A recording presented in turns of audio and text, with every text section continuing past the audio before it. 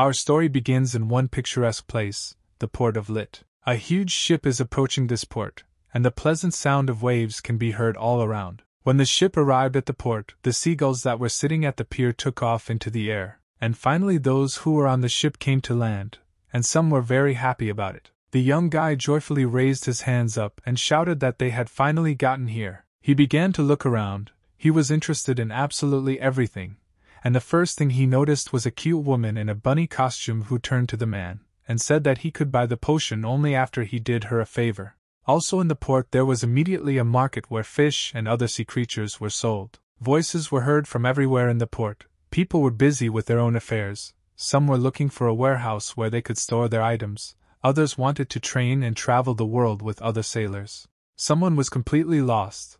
A young and surprised guy who had just arrived at this port with sparkling eyes looked around and was happy. A dark skinned, white haired man came up to him and hugged this guy with one arm asking if he was glad to be here, and called him by name. This guy's name was Raymond.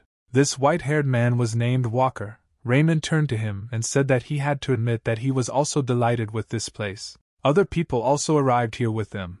A man in a green jacket and hat said that he wanted to tell everyone in this port how he felt. His name was Theron. Next to him was a cute girl with black hair. Theron wanted to tell everyone how he feels because their adventure begins here. This is the time when adventurers from all over the world write their own stories of epic journeys. It's the age of adventure. The gate is a mysterious portal that suddenly began to appear all over the world. These gates lead to worlds where terrible monsters unknown to anyone live. Countless adventurers have died within the gate, but the rewards certainly outweigh the risks. This forces ambitious people to continue to experience new worlds. A white haired man with dark skin and blue eyes said that they needed bait. At the same time, he pointed his finger directly at Raymond, who stood in bewilderment. He also said that it is impossible to come up with a strategy before entering the gate, since it is unknown what to expect.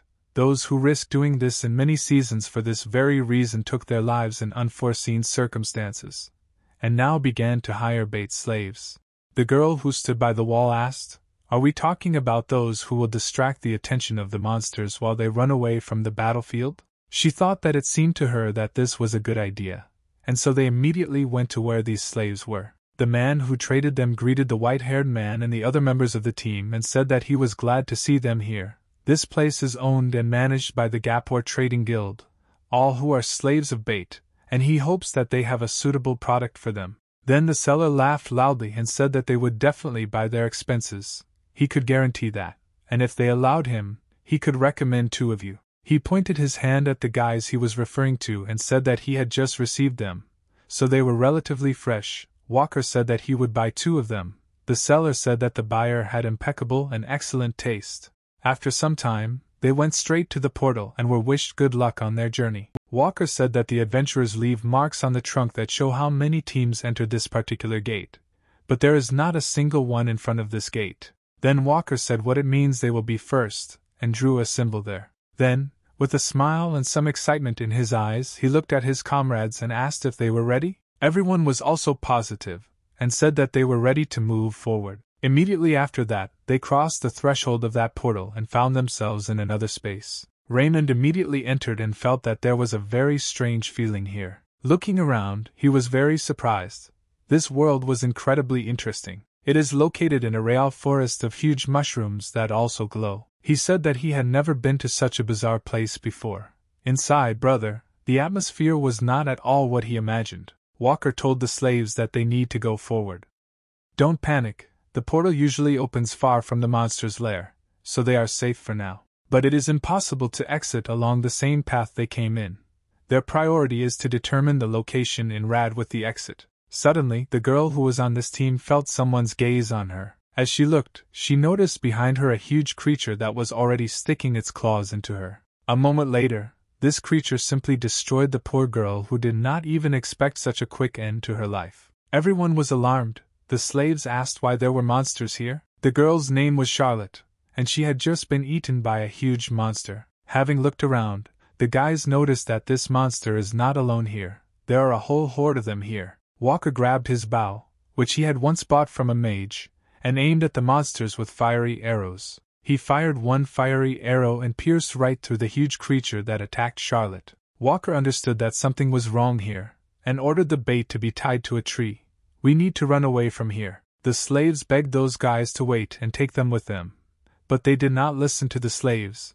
The man in the green hat shouted for the slave to shut his mouth and stand still. Raymond tied the slave's chains to a tree. He felt very sorry for these guys. As soon as they did this, they immediately began to run away, the slaves begging them not to leave them. But that's exactly why they were taken here, they were bait. The ferocious creatures first attacked those poor fellows who were tied to the tree. Walker grabbed the wounded Charlotte's body and ran away with her carrying her on his back. He shouted that the task was being postponed.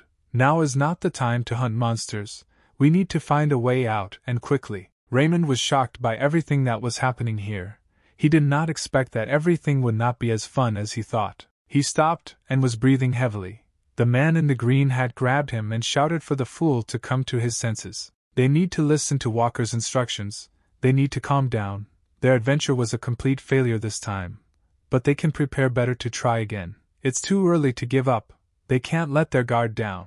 While he was saying that together they would survive, another huge creature appeared behind him, which was very fast. This huge feathered creature very quickly hit the man in the green hat with its huge paw and simply crushed him on the spot. Walker was beside himself with rage and pity, tears flowed from his eyes because he was very sorry that Theron also died. When you huge creature raised your clawed and huge paw, everyone saw that Theron could no longer be saved. Raymond fell to the ground and froze in horror looking at the dead body of his comrade. Walker again grabbed his staff, which he used as a bow, and aimed at the ferocious creature. Well, this creature was too fast. In an instant, this terrible beast stuck out its long tongue. With this tongue, he grabbed Walker's neck and squeezed him hard. Then this huge creature began to drag him straight into its terrible mouth full of sword sharp teeth. The last thing that man shouted was words for help, but no one saved him. Raymond had never experienced such a shock in his life.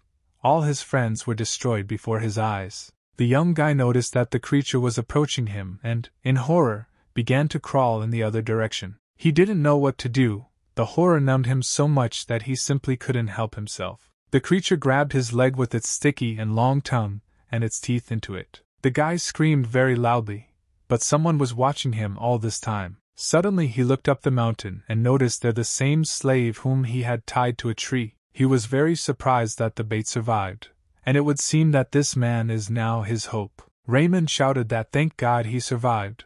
What a relief! And then he began to beg that the guy on the tree with the spear would help him quickly. Everyone died, only he and this slave remained. All this time, while he quickly said the monster devoured his leg, Raymond asked for forgiveness for what happened, and he was generally against it.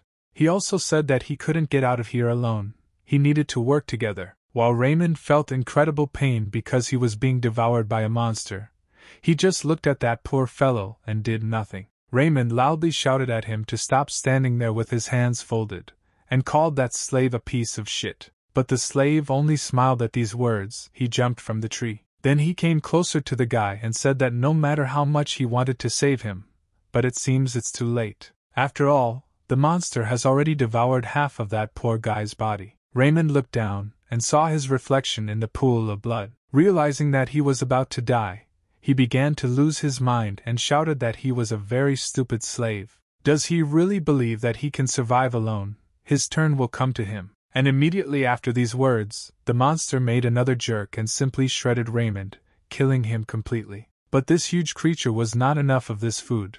He also wanted to feast on the slave, a huge but fast creature prepared to jump. Then it rushed straight towards the guy who was standing with a spear in his hand. But the guy with black hair was absolutely calm, he said that he thought that he could survive. He pointed his spear straight at that huge beast and went through it, making a huge hole in the beast. A feathered creature with horns just dropped dead not far from this guy. Having stained his face and clothes with blood, he straightened his hair and said that this was not the place where he died. And now let's move to a completely different place. But this place was no less sinister. Several armed men stood on the edge of the cliff. At the very edge stood a man in a black cloak. Creatures that looked very much like flying lizards were approaching them. There were also huge creatures that looked like demons from the underworld. They were of all sizes, from small to incredibly huge. Among them, one huge dragon especially stood out. It was the Horntail, also known as the King of Dragons. One of those guys said that it turns out that the Centauri nest was also destroyed. They have no one else to rely on here, starting with the Knights of Cygnus, the resistance of the Crusade hunters and adventurers, and ending with the six heroes on whom people pinned their hopes. A woman approached this man who was standing on the edge of the cliff and said that everyone was dead. She looked at his back and said that he was the only one left. This was the last adventurer. His name was Elpham, and finally he said that they would now go forward, because the last adventure awaited them. The incredibly huge dragon had already noticed its prey and was flying straight towards those people. He opened his huge mouth wide and growled so that the earth began to cower. Then there was a battle in which there were huge losses. Elpham was on his knees, covered in blood and breathing heavily. Around him were the dead bodies of his assistants who could not survive this battle, and right in front of this guy lay the huge head of a ferocious dragon in which there was no longer any life. Elpham raised his eyes to the mountain, asking just one question Is this the end? As it turned out, it was a three headed dragon, and our hero managed to cut off one head. They survived the heavy blow but managed to cut off one head, only to see it regenerate. He thought that all their efforts were in vain, and the huge creature again headed straight towards him. Elpham realized that this was definitely the end.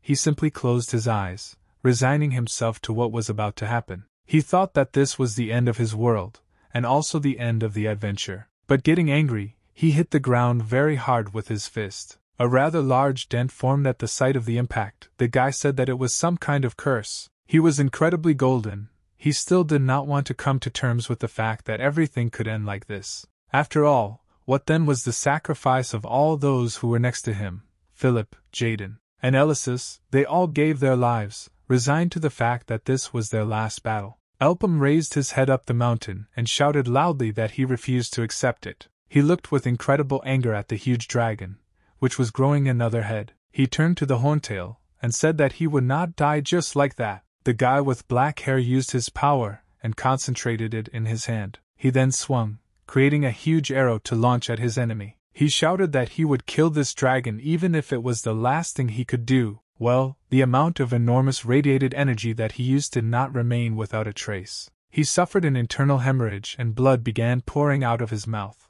The dragon, using one of its heads which was in the middle, wanted to incinerate its opponent. He began to spew out a huge amount of ancient magic which he aimed at Elpham. Our hero saw in front of him a huge ball that was supposed to smear him into powder. What a pitiful sight! Why should the end be exactly like this?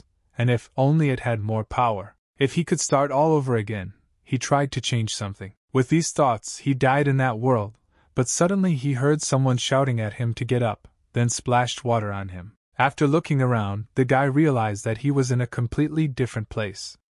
There were shackles on his hands. The man who was throwing a bucket of water at him said that he knows that this brat is healthy. He is just a Bates slave, and you shouldn't forget your place. Elpham didn't understand what happened at all. Where did the horntail go? he didn't understand why he was even alive. Looking around, he heard talk that they had brought a new product.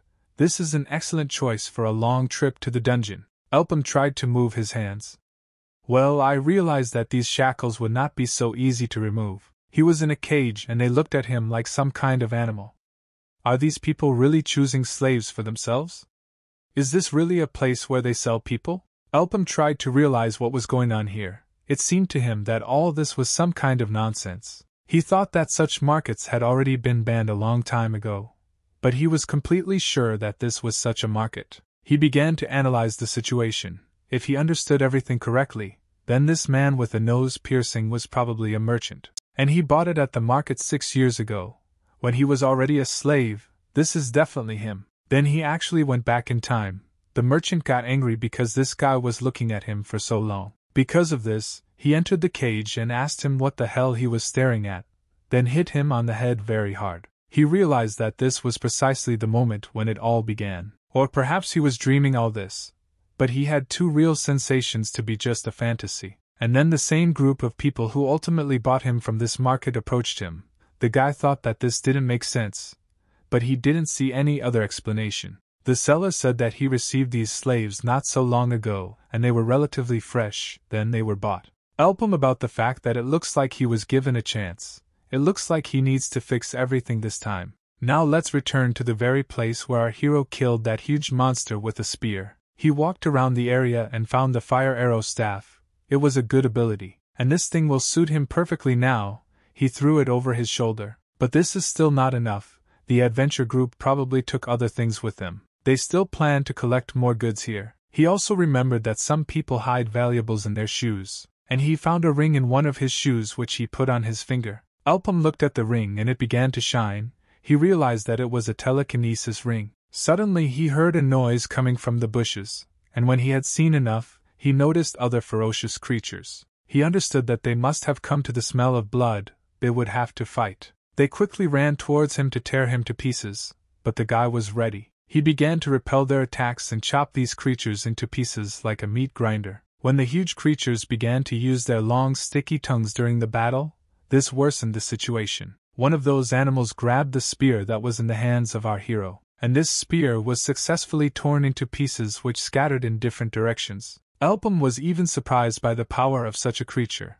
He realized that it would be difficult for him to defeat them all and behind him there was another creature that was already trying to bite off his head. Elpham grabbed the weapon he found and used a fire arrow. He managed to save his life by killing the monster that almost bit off his head, but others also attacked him. Now is a good time to try out the ring he found. With the help of this ring, he was able to control the arrow and direct it at his opponents. Thus, he was able to quickly pierce several creatures at once with one movement of his hand. But this arrow could not maintain its strength for a long time, it simply dried up.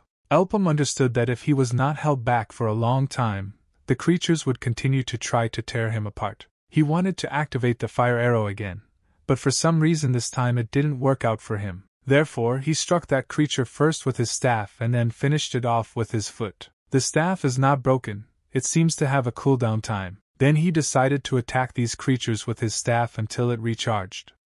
There was no choice. Elpham himself looked like a beast in this battle, and those guys who attacked him were no longer happy about such a meeting, and after some time of this battle, he felt that the staff was charging. He lifted it up the mountain and was ready to attack his opponent. The creatures began to approach him again, they wanted to finally end this. Elpham fired a fiery arrow and again used the power of that same ring to destroy the remaining creatures. This time he accelerated to destroy as many of these creatures as quickly as possible at once. The power of the staff ran out again, and he again could not release these arrows for some time. But he no longer needed this, he simply stood surrounded by the dead bodies of those creatures. Suddenly he heard someone's voice address him. It was the same girl who was wounded by the beast.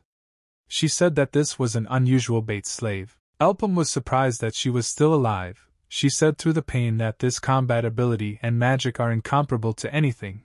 Who the hell is he? Elpham thought that this was a very lucky girl, although he should take back his words. The girl who was seriously injured asked why he had this staff, and also he had rings around his wrist. How could the decoy slave awaken such powers? The girl asked in a trembling voice, Was it really because of him that the anomaly happened? Elpham looked at her, thinking about what he should do. Now the fate of this girl is in his hands. A stronger wind began. Our hero asked if she had finished what she wanted. The girl didn't understand what he was talking about, but our hero said that he was afraid that she was mistaken. It didn't even matter if the others remained alive, because he was going to kill her anyway. After all, she used people as bait to survive. Elpham said in a menacing voice that he despises people like her. When it was all over and our hero managed to find a way out, he went back to the city. The guys who noticed him were very surprised. Is this really true? They did not believe that the decoy slave returned alive from there alone. Elpham thought that the die had been cast, he needed to act quickly so that this would not be his fate. But everything should be done in order. He came to one large building in this city. Holding a staff in his hand, he wanted to get rid of the status of a slave. When he entered that building, they asked him to wait. They were trying to clarify the situation. The man who sat at the table and lit a cigar and said, Did this rap come back alive? His assistant said that everything was true. This is always the case, and the man said that according to this man, he came unharmed, then his interlocutor named Mr. Abbey said, What's wrong with this? Is this the first time that the decoy slave returned without injury? Then the man always said that all the adventurers from the team he was in died at the gate. Then the man with the cigar asked that he really wanted to say that this slave survived alone? This is really strange, and also strange that he decided to provide a report about not escaping. Those who have become slaves due to huge debts cannot avoid the fate of being used as bait again. Since he didn't try to escape, it means he realizes how difficult it is to hide from them. In the end, death is the only path to freedom for them. Always and the man said that business was being carried out in their trading guild Gapor. Is it really necessary to report to him on such trifles? But the assistant said that the gentleman should know something else. He also learned that this slave awakened the first circle. The man with the cigar was very surprised, he didn't understand. Did this decoy slave awaken the first circle? The man with the cigar was thinking that he probably had a bad opinion of their guild since he was a slave. The assistant also said that he was told that that slave was asking to change his contract. The slave wants to register as an adventurer. The man with the eye patch was very surprised. Who the hell does he think he is? The assistant said that Mr. Larkin wanted Abby's to deal with this situation personally. Then Abby's jumped to his feet and asked Did Mr. Larkin himself say this? He wondered why the executive head of the guild would be interested in a stinking slave. Looking at the stack of papers, he thought a little more and came to a conclusion. The assistant left his office and closed the door behind him. The man with the eye patch thought aloud that the decoy slave yearned to become an adventurer. In the name of Emperor Cygnus, slavery was abolished, but only conditionally. People have always been slaves of money, they have always thirsted for gold, and were ready to do anything for it. Those who could not pay on time were obliged to work off the gold. This simple law led to non caste slaves in the world of Maple. When our hero's father, the only family he had, died of illness, he became one of them. Elpham purchased an ingredient called black moss from the Gapor Trade Guild to cure his father, promising to pay later. The guild demanded a million gold coins, which was several times the market price. The defendant failed to pay the Merchant Guild 1 million coins on time, and therefore will have to perform work for the Guild within a set time. For six years, these scumbags exploited him day after day, and also mocked him. Elpham thought that it was time for him to take revenge for this. Elpham sat opposite Abby's and said that he was at his service. He realized who he was sitting in front of now and thought that he was a faithful servant of one of the executive heads of the guild. Not bad at all. The man with the eye patch said that he heard that Elpham wanted to change the contract. Therefore, he wanted to get straight to the point, since he had already been told enough about this slave. The bearded man then said that he would register him as an F rank adventurer. Elpham reflected that he agreed to his application quite easily, and thanked his interlocutor. However, our hero wanted to clarify something, he demanded the E rank. He understood in advance that the game would go exactly according to his rules and not according to the rules of these scumbags. Then his interlocutor asked why he needed rank E. Even the Association of Adventurers did not officially recognize him. Elpham replied that he had come to the gate as a bait slave hundreds of times over the past three years. His interlocutor replied that everything was correct, he came there as bait, but he was still new to killing monsters, our hero asked since when are adventurers judged by their ability to hunt monsters? The first seeker earned great glory through his survival skills, the main goal of any adventurer to return alive and after the processions. The man with the eye patch thought that this was really true, the information that the survivor would bring at the cost of military merit. He said that this was reasonable. Then he said that to be honest, the fact that this slave survived and came back a bunch of times being bait is a great achievement. But that's all baits only taken to the gates of the lower level. Does he really believe that his insignificant survival skills will save his ass in the gates of the high level? He began to take out a cigar and said that this guy is very mistaken if he mistakes their guild for credence who will sign a contract with a self confident idiot. This man closed his cigarette and said, looked at the guy, thinking that if he continues to overestimate himself, he will die very soon. However, his intuition told him something about this guy. By this he said that there is a gate with a limit of five people and twelve marks on the tree trunk. Then he smiled and said that everything is correct. This means that at least twelve groups of five people went there and did not return. The bearded man turned to the slave and told him to prove to him that he was worthy of the rank he was asking for. If Elpham succeeds, he will correct his wish, and at the same time he handed him a piece of paper. Elm of Time, he immediately found guys to join. Those guys turned to him, and said that he must be the same newcomer who joined them. One of them, a blond man with green eyes, said that he was glad to meet you. His name is Chev, and he is the tank of their team. And Mr. Abbeys also told him that he was a Bates slave. But there is no need to worry about this, because he doesn't care about it, just like his comrades. Elpham said that he was glad to meet them, and his interlocutor also said that he had also heard that he could use fire magic. Elpham replied that everything was correct, then a dark skinned man with white hair asked whether any magic is inaccessible with a poppy seed. Shev said that this is not true, they can only control the element to which they are predisposed from birth, which is why it is useless for them to take an object that does not match their element. But he moved away from the topic and said that it's possible that our hero already knows their goal on this mission is hunting monsters. They need to return the items that were dropped by the other 12 teams that went here before them. When they collect all those things, their work will be over. The guild is ready to pay 3,000 coins for each item. The dark skinned man said that this was a robbery in broad daylight. They would have been left without any items at all if it weren't for them. Besides, those guys had one circle each, which means their items cost at least 7,000. The man with the scar on his face told him that he should stop complaining. Then the man with white hair said that he did not complain. Then the head of this team told them all to calm down, and it was time to earn some money. Immediately they entered that portal and found themselves in a completely different world. It was very light here, but still somehow creepy. The commander said that everyone should listen to him. It is very likely that the task will be delayed. Judging by the terrain, it is necessary to set up a camp. One said that they should set up camp at the top of a tree.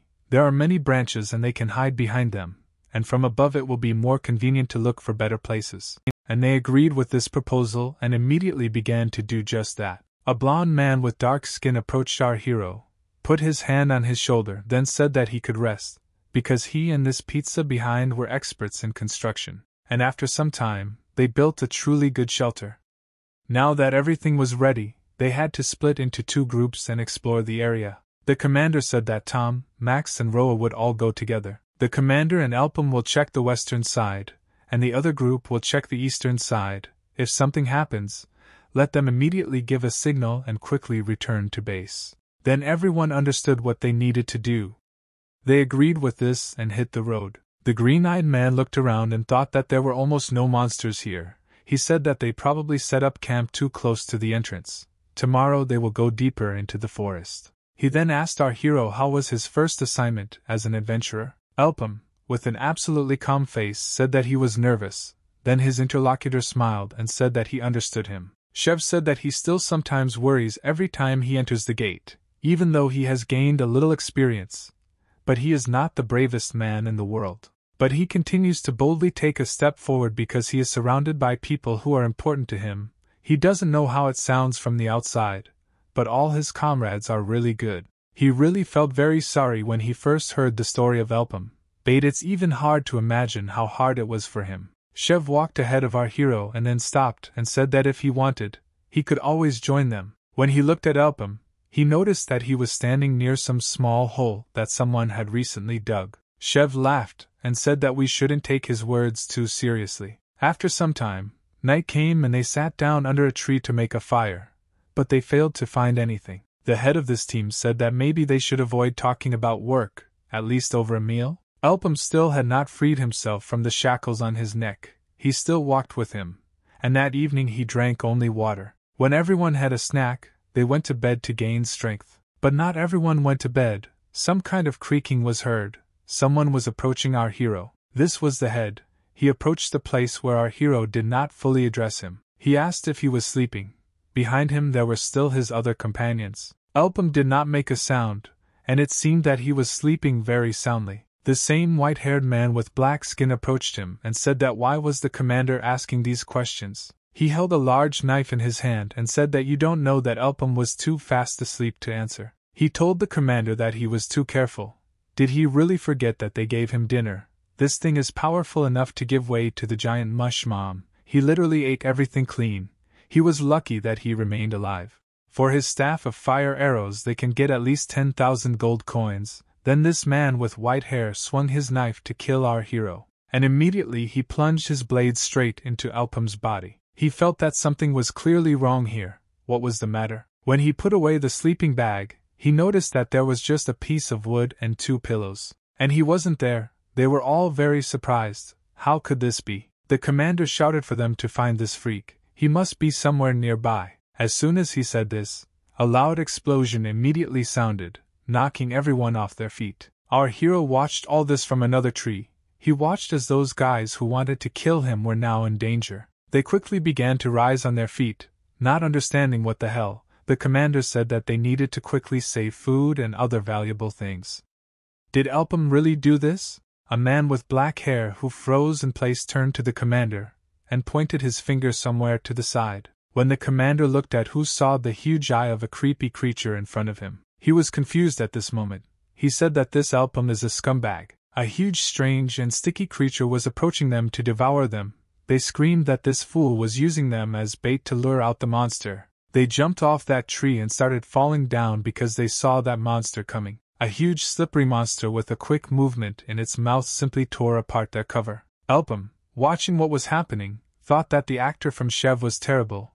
He shouldn't have shown kindness if he wanted to deceive him. This gate finished off 12 teams, they welcomed the former decoy and not the one with the most experience with open arms. How obvious it is. Our hero correctly guessed that this monster is the boss of the dungeon. The guys jumped to the ground and began to quickly run away. The commander shouted that this was the worst type of monster for them. His assistant with black hair turned to his boss and asked what he knew about this monster. Chev said that if he was not mistaken, then it was a golden slime mold. His body is made of acid, making him the worst enemy for them fighting in close combat. And that's not all. Chev noticed that something dangerous was flying right towards the meeting. He threw his comrade aside, shouting to be careful here. They fell to the ground. The man with black hair was shocked by this. As it turned out, he can attack from a distance, acid arrow, an ability that shoots acid. Then the man with black hair screamed in panic that it was so unfair. Chev shouted for everyone to start panicking.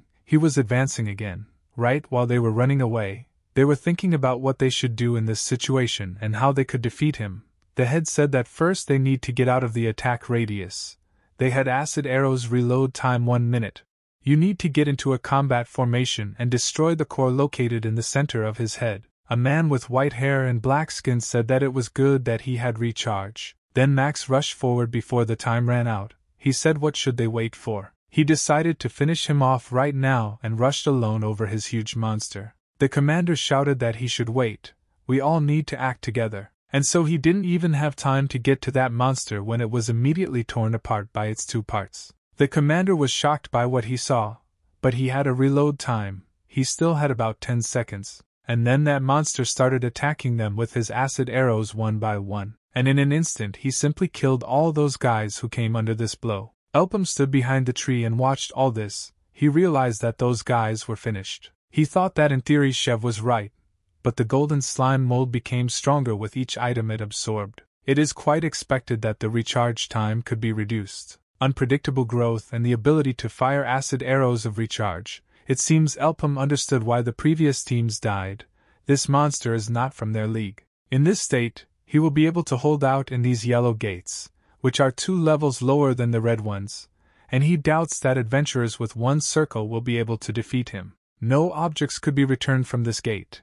He realized that the task was over, and then he remembered that man with the cigar who wanted the guy to prove it to him. Elpham figured out what he would do. While that slime mold looked around, our hero acted. Then the monster heard some noise and began to carefully look for the source of this noise. But he didn't have time to react, and a huge exchange arrow hit him directly. The slime mold was injured, its body parts dripping onto the ground and burning through it. He was in great pain and growled in pain.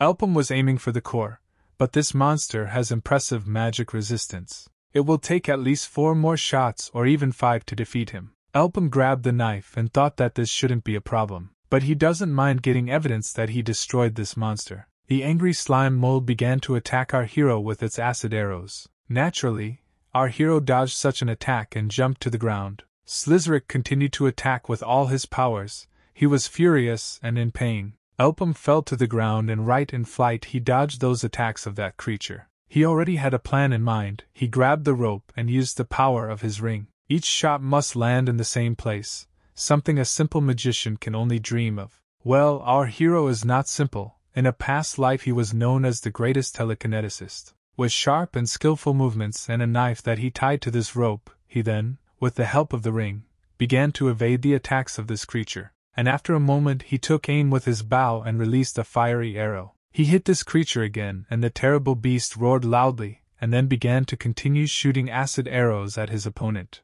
Elpham dodged very quickly and waited for his fire weapon to reload, and after some time he again used the fiery arrow, and again he hit his opponent. This was already the third arrow. The terrible creature made of acid slowly decreased in size, but at the same time, she was not going to give up. This creature constantly attacked our hero. Elpham waited again to reload. All this time he dodged the attacks and finally fired another fire arrow. But this time that creature managed to dodge the fiery arrow. Elpham thought that this creature was quite agile for its size, but it was no use. He used the power of his levitation ring and redirected the arrow back at the creature. And finally, he saw the very core that he needed. As soon as he saw this cannonball, he immediately rushed straight to meet the enemy. His staff caught fire, and our hero said out loud that this was the end. He was already very close to the core, but the terrible creature tried to heal the wound in order to hide the core. At some point, our hero realized that he would not have time to grab the core, and moreover, this creature would now grab him with its huge paw. Therefore, he again used the levitating ring to evade. He threw away the blade that was tied to the rope and controlled it to move in the air. Thus, he quickly changed his trajectory and the creature could not attack him. Elpham was the main thing and quickly landed on the ground. He was already ready to use the properties. And again he shot a fiery arrow. The creature understood that he could not escape. Elpham smiled when he saw that this creature covered himself with his hand. He quickly used his limiting ring to change the trajectory of the arrow and aimed straight for the head. And again there was an explosion, a huge creature received crushing damage. The core of this creature was no longer protected and could be easily destroyed, but it was precisely that decisive arrow that put an end to the existence of this creature. The creature swelled greatly in size and roared loudly, and then it just exploded like a balloon that had been pumped up too much air. Elpham began to quickly run away from that acidic mucus so as not to harm himself. Faster and faster he moved like a bird using a levitating ring. Then he released the blade further to catch on a tree, and so he jumped out onto a tree just at the moment when the whole earth beneath him was flooded with acid. Elpham looked absolutely calmly at what happened.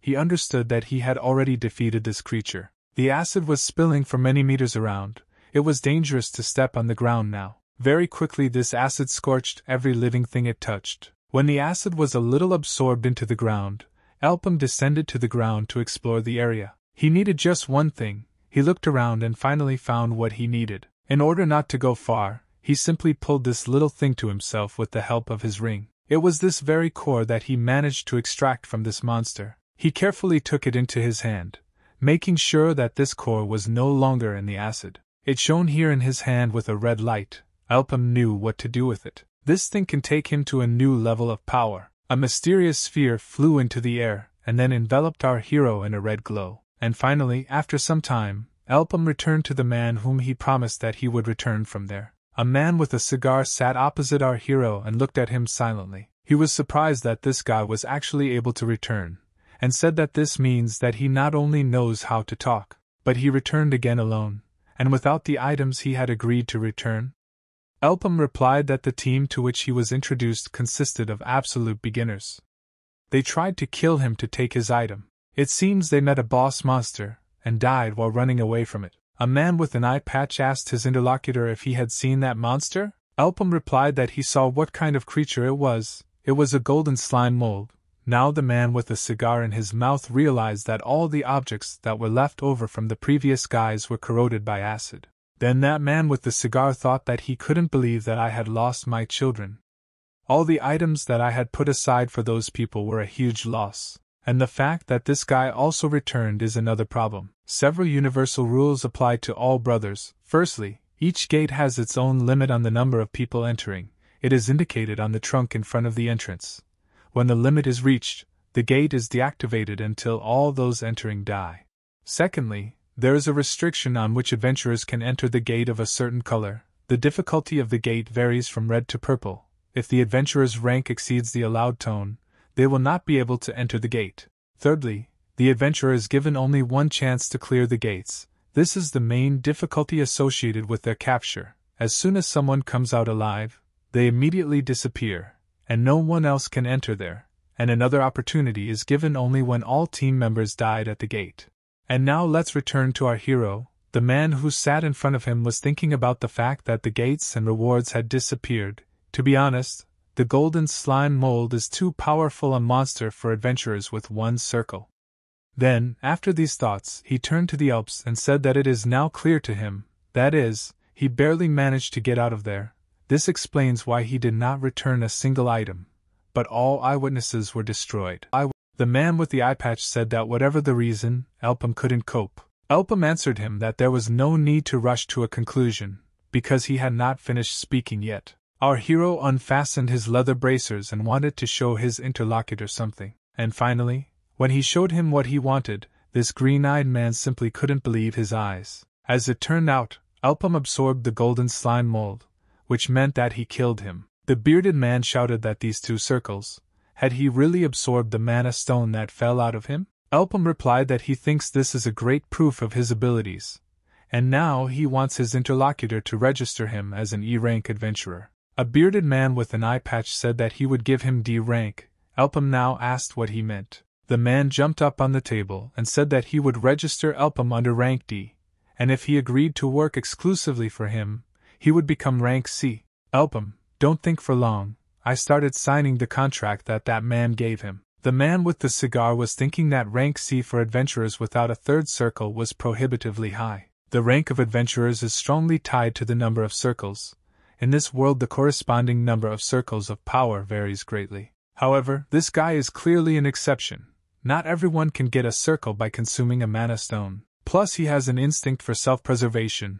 This guy is just a diamond. He is significantly superior to those people who came here. He earned the second circle in the blink of an eye immediately after the first. He has an unheard of speed of development. The man with the cigar smiled and thought about hiring him. Meanwhile, Elpham was thinking that everything was going better than he expected. This man clearly needed him. He himself understood that it would be useful very soon. He knew what would happen next. The first conquest of the Red Gate for 100 people will take place soon. If his memory serves him right, then around this time there will be a huge event in which all the trade and adventure guilds in Lith will be interested. Gapor will also probably turn his attention to it. This is not bad at all, because he is also in a hurry, and it would not hurt him to speed up the execution of his plan a little. Elpham turned to Mr. Abbeys and said that he wanted to ask him for a favor. Elpham was now broke, that is, he had nothing at all. He extended his hand and said that he wanted to put money aside from his interlocutor. Abbeys smiled when he heard this, but he did it somehow faintly. He himself was thinking about this. Did this brat really ask him for money? While some argue that the appearance of the brother gave birth to an era of adventure, in fact, they are a trap set by a dark magician. Many adventurers died in the gates, slowly but surely robbing the world of Maple of its potential. And then the day of the apocalypse came. A huge number of monsters, as if waiting for this moment, got out of the gate, and they were defeated. The described event will happen exactly three years later. The tragic fate of Maple, who is destined to collide with her, is just around the corner. After the conversation, Elpham left his interlocutor's office and moved on. He walked, and Abbeys watched him from the window, about to light another cigarette. Elpham understood that he had a long way to go, but he thought that this would be enough to start implementing his plans. The recently found gate for 100 people is red, which means that only those with two circles or less can enter there. The Gapor Trade Guild usually hires high ranking adventurers. The only reason to invest in it is that they are targeting this gate. Our hero finally has money, but he needs to manage it wisely. You shouldn't spend it all at once, truly useful items are too expensive. Then what is the best thing to spend your saved money on? Elpham went to the place where people were sold. It was a market. He understood that this place was simply terrible. People were being trafficked here. A man immediately approached him with a smile and greeted our hero, then said that he was glad to welcome him to the labor market. He also said that the man he was talking to looked like he was looking for adventure, and wanted to help him. Elpham looked around and noticed how people were bargaining among themselves for other people. They had separate Bates slaves or partners who would fight with them side by side. Elpham said that he was looking for a certain person and wanted to be taken to him. A man in a red headband asked who exactly should he be taken to, and so we see that our hero immediately went to the dungeon where the punitive premises were located. He sends the most problematic people there for correctional purposes, and the one our hero is looking for is one of them. After walking around this gloomy place for a short time, they finally arrived at their destination. They came to one of the cells and there was a muscular man tied up in chains. The seller asked if the gentleman was sure that he was looking for this particular person. Elpham looked at this big guy and told him that he was looking for him. The death of one person hastened the destruction of Maple's world in our hero's past life. Aaron, this is the heroine of the halberd. This mighty woman was killed, and the criminal turned out to be none other than her only student. It was a murder hero named Dubois. This incident marked the beginning of the end. A muscular man in shackles turned to our hero and asked was he really looking for him? and then he said that they had never seen each other before and that he should get out of here. The seller turned to our hero and said that she was asking for his forgiveness, but this ignoramus should get some manners. He will earn a position with Slava. After a few years, while he is in slavery, he still dares to seek or seek adventures that may become his master. The term impudent does not fully reflect his character. The seller said that this is just a savage and even an arrogant barbarian, Elpham smiled when he heard the words of this man, thinking that it was not for nothing that they called him that. After all, he was the most influential person after our hero when the apocalypse happened. People often compared them because they are both from the same region and have a lot in common, from when they awakened their powers to how strong they became. But there is one main similarity that we will learn about a little later. Elpham asked what is the price of this man. The freed man with scars said angrily that it looks like this fool is from a rich family, is he really sure that he can afford to buy him? After all, it costs one million gold, too expensive for this filthy bastard. Elpham reflected that they both desperately needed money at one time or another. His little sister is suffering from the black blood plague which is slowly killing her. A casual man in shackles said that if his buyer has no money, let him get lost. Elpham opened the bag which contained a lot of money. In one package he had one million local currency. Everyone was very surprised. The seller asked if you were confident, sir, in your decision. The man in shackles didn't understand whether this was a real person, and whether it was possible. The angry man then closed his mouth and began to worry. Elpham said that he was too early to admire, he had not finished yet, and demanded a contract for a year, a division of profits 7 to 3, and the transfer of all items obtained from the gates to Elpham. The merchant was very surprised when he realized that this man was trying to hire that prisoner as a crew member, and not a slave. Our hero wrote everything down on paper and then handed this contract to the slave and told him to read it carefully. The surprised man in shackles quickly snatched this piece of paper from his hands and told him not to take back his words. He quickly bit his finger with his teeth and didn't even think about this decision. He quickly put a signet with his blood, it looks like he is in a hurry to take care of his little sister. Elpham smiled. That's exactly what he needed. Without further ado, Elpham turned to his new team member and said that the contract had been signed, so they would immediately go to the gate. His interlocutor replied that he had been waiting for this and was ready to go right now. Elpham turned to him and said that he would have to prove his worth. And he called him by the name of Dubois. The U.S. man did not say that he was the most dexterous person his interlocutor had ever met. And so they went on their adventure, each of them pursuing his own goal. They walked through a dense forest, and Debo decided to hold a huge axe in his hand. He turned to our hero and calling her boss and said that he likes the new weapon but with a long sword he feels more confident in himself. Shouldn't he have mastered something in which he has more experience? Elpham said that while he works for him, he will only use a halberd, but if he is against it, then they can terminate the contract. They came to this gate, and Dubois asked if they would train at this gate. Elpham approached the red gate with one mark with a limit of eight people. This particular gate would suit them. Debo asked what about the other team members, because if it costs one million to buy him, then he is sure that he has enough money to hire others. Then he asked if there would be a healer with them, because there are many healers.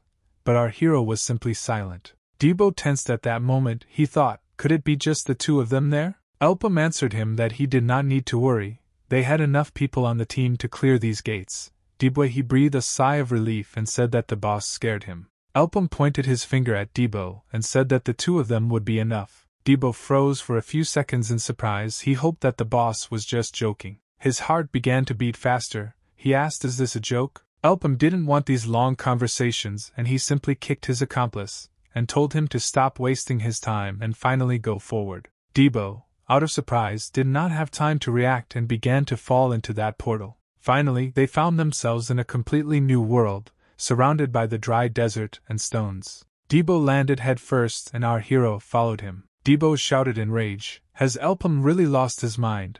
What can the two of them do in a gate designed for eight? Where is his serious approach to business? First, he decided to take his weapon, which he was not used to. Suddenly, there was a noise behind Debo, and dust flew into the air. A whole crowd of living stumps began to move right towards them. Debo realized that it sounded like his cry and brought these. They are known for their resistance to weapons like blades, but there are a whole lot of them here. Elpham pushed his assistant away and told him to step aside. He was heading straight towards these stumps. Debo didn't understand what he was doing. Elpham used a fire arrow and immediately began to smash these creatures to pieces. These stumps were created by sorcerers. They were once ordinary trees, but now everything has changed. Elpham used the levitation ring again and began to exterminate a whole horde of these stumps. Debo just looked in shock at everything that was happening. When our hero destroyed the creature that was attacking them, he turned to his interlocutor. He told him that it was very sad that he started screaming as soon as he entered the gate. Let him not make such a mistake again, because he simply attracts monsters. Debo didn't understand who the hell this man was. But let's move to a slightly different place. The woman, on her knees, turned to her boss and said that the trade guild had taken the bait. They were thinking over the implementation schedule, and among them were their own people. I listened attentively to a man who stood at the window and held a glass of wine in his hand. She turned to him and asked if he would allow him to proceed with the plan. This man also had red eyes, looked at the girl, and said that he allowed it. Then the woman bowed her head before him and began to disappear like a shadow. This man with long gray hair raised a glass of wine to the mountain and said that his will will be done. He looked at the moon and said that they will free the world of Maple. Well, now let's get back to our hero who just single handedly defeated an entire army of wild creatures. Debo wasted no time and collected 27 mana stones that would be useful to them in the future. Elpham did not stand in one place for long, he said that they should move on. Debo agreed with everything his new boss told him. They had already been traveling around the world for some time. Debo thought about what he thought was an ordinary man man. But he is an amazing man. It was telekinesis. He had never heard of such a use of fire arrow. If he travels with this guy, he will definitely earn a lot of money. Because he gets 30% of the income, this will cover the cost of treatment. Elpham turned to his assistant, and said that they were here. They found a bunch more stumps. Debo counted them, and there were nine of them. All these creatures now seemed to be sleeping. Elpham said that this was a suitable number, and his interlocutor asked what he was talking about. Elpham looked carefully at his interlocutor. Let him understand that now it is his turn to chop wood. First, Debo threw a pebble to distract the attention of these creatures. I just got distracted by the stump and he immediately jumped on it to chop it into pieces. Having cut one, the other stumps also woke up and began to move towards the enemy. Debo thought that his boss was some kind of crazy person. How could he alone defeat them? Especially with a weapon that he picked up for the first time. He wouldn't survive even with nine lives like a cat. He has a terrible boss. Elpham looked at this whole battle and thought that Debo would take a long time to master the halberd. But soon he will understand that this is the best type of weapon for him. You don't even need to think about how much potential he has, after all, he was the only one whom the heroine of the halberd accepted as students. Meanwhile, our hero's assistant was still fighting with those terrible creatures. And yet he succeeded. Even for a moment he thought that the halberd was not so bad. It hits at a distance, and quite strongly. It is much more convenient with it than with a sword. It lies easier in the hand since there is no need to apply force. He tried new techniques and wondered what would happen if he swung even more smoothly than before. And he did it this way, he got better and better, he just chopped down all those creatures as if they were some kind of ordinary firewood. Elpham, watching the battle, thought that he quickly grasped the essence, and this even before the awakening of the circle. Right in the middle of the battle, Debo felt some kind of earthquake, he began to lose his balance. He looked up the mountain. He noticed that the birds flew into the air as if something had frightened them. Suddenly, from the rock next to which they were standing, some unknown thing cursed and then the one who climbed out of that rock threw Debo aside. He didn't understand what the hell was going on here. What kind of creature was this? When he took a better look at this creature, he realized that there was a stump in front of him. This stump began to attack the one who came into this world without an invitation. The muscular guy did not have time to dodge. Elpham used his ring to throw him aside and save his life. And then he used his staff, saying that being big is not always good. You need to shoot a fire arrow. They say that if you are so big, you become an easy target. Debo, who still had not risen from the floor, thought that he was right, fire magic should work. Well, suddenly something happened that they did not expect. The stump simply knocked off the arrow. Elpham thought that the creature's reflexes were better developed than it might seem when he decided to try again. He released the arrow and used telekinesis to change the trajectory of the arrow. And now everything should have worked out. The target almost reached the head of this creature. But the stump reacted again and deflected the arrow in mid flight. Elpham was surprised that this creature stopped this blow. Debo shouted that even magic didn't work here. There's no need to wait, and you need to get away quickly.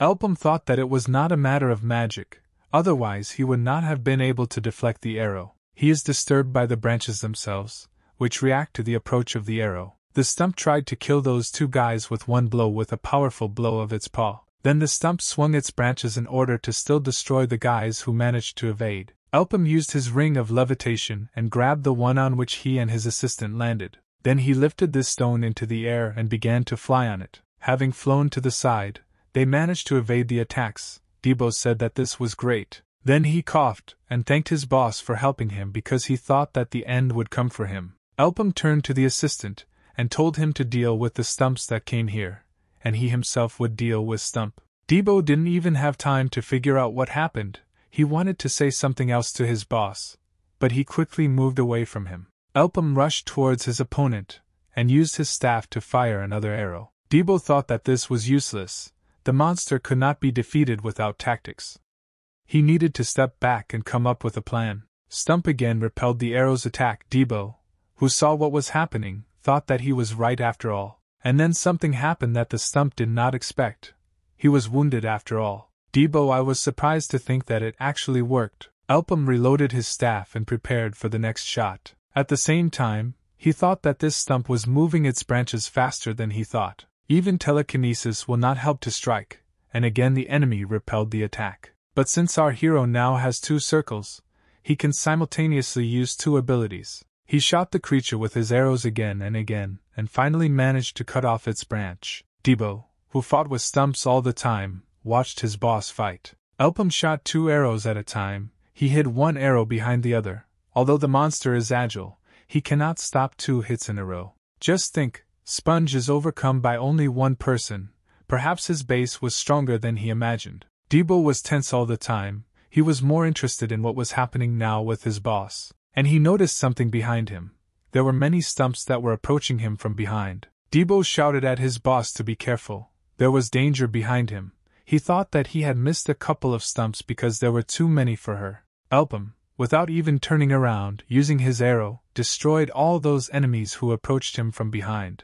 Elpham looked at his assistant, and with a disappointed face asked, Is Debo really not able to cope even with ordinary monsters? While our hero was distracted, the stump immediately, without wasting time, rushed straight at him to destroy him. Elpham jumped away from the enemy with quick movements of his legs, he thought that he did not have a moment of peace. The enemy kept advancing and advancing forward, and so did our hero. And finally, there was an attack from the stump that our hero did not notice, and when he noticed, it was too late. But suddenly he was saved by Debo, who managed to notice the danger and cut off another branch of this monster with his weapon. The assistant told his boss that he saved his ass. Now they are even. Elpham smiled at his assistant and said that this is good, it means he has recouped his costs. Debo and Elpham unanimously said that it was time to end him, and so the guys again continued their battle with this huge monster. The monster dodged and tried to deflect the arrows, but he did not always succeed. While ours was nodding and forging this creature, Debo was chopping up the huge monster in every possible way. In this way, they managed to give this creature a good beating. Debo did not have time to react to the creature very quickly, and she began to attack him from both sides. Elpham turned to his assistant, and shouted that he would take care of what was on the right. Such words were enough for the assistant to understand everything. Elpham cut the branch that was on the right, and his assistant cut the branch that was on the left. Debo jumped up and attacked his opponent in every possible way. He did it very quickly and epically, and it seems he got used to his new weapon because he wielded it like a professional. Well, he still didn't keep track of such an enemy. And the creature hit him with its branch right in the area of the kidneys. Debo screamed in pain and suffered internal hemorrhage. Because of this, he lost his balance and began to fall down.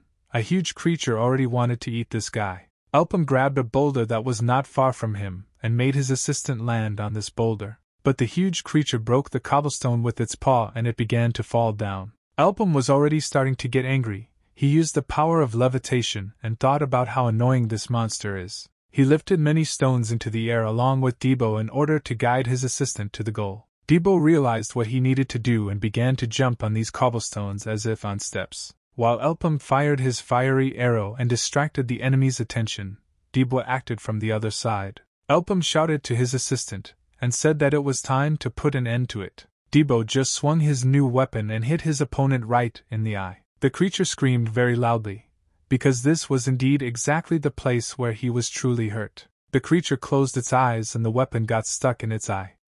Debo could not resist, and he let go of his weapon. He started to fall down, and tried to fall on his head, and he succeeded. This was not the end yet. It was necessary to finish off this creature while it still couldn't see well. Elpham used the ring and began to pull his assistant's weapon out of the enemy's eye. With a sharp movement of his hand, he sent the weapon straight to its owner. Debo grabbed and epically addressed his opponent. He said that Dear One will now receive his dessert. Very quickly he approached the next eye of the enemy, and again dealt him a crushing and hard blow. The stump screamed loudly and began to turn quickly. Debo began to fall down again. Once again he landed on his feet like a cat with his weapon. The monster wanted to survive and destroy his opponents, so he quickly rushed towards Debo. But the assistant did not have time to react, and Elpham again fired two arrows in a row. These arrows hit directly the core that was in the head of this monster. Finally, they reached their goal. The stump screamed loudly and they saw its core. Then it caught fire with a bright flame. The wood burns very well. Poisoned and exhausted, Debo was breathing heavily. His boss came up to him and said that he was great. Elpham watched their opponent burn, and his assistant said that the boss was also great. The huge creature fell to the ground, the fire burning incredibly high. Now let's move to another place, in one of the houses, the light was still burning through the window in the late evening. It was already very late. The girl was sitting there alone at the table, thinking that she needed to quickly eat and go to bed. Before eating, according to her old tradition, she began to pray to God, and as soon as she said the words of prayer, she immediately felt that someone was knocking on the door. When she went out to see who came there at such a late time, she was very surprised. As it turned out, it was her brother. He was all exhausted, dirty and covered in blood, but alive. As soon as the girl saw her brother who had returned, she grabbed her skirt and squeezed it tightly, trying to hold back her tears. But nothing worked for her, tears simply flowed like a river from her eyes. Then she rushed to her brother and hugged him tightly. She was very happy to see him. And now let's return to our hero. He also went to the same house. Arriving there and opening the door, he noticed the man's body lying on the bed. He looked sadly at the one who was already lifeless, and he stood there for several minutes. It looks like it was his father who was left alone and died. Death overtook this man not so long ago. He was already decomposing. After some time of silent distance, Elpham decided what he would do next. His after caught fire, he is clearly going to use it now. And he used it to burn this house along with the body of that man. He heard his house burning down, and he was incredibly sad and hurt at that moment. But nothing could be returned, he needed to burn all the bridges and move on. Now let's see what's happening in our new friend's office. And now he's faced with a problem. It's time to send people to the gate for 100 people. But who should he choose?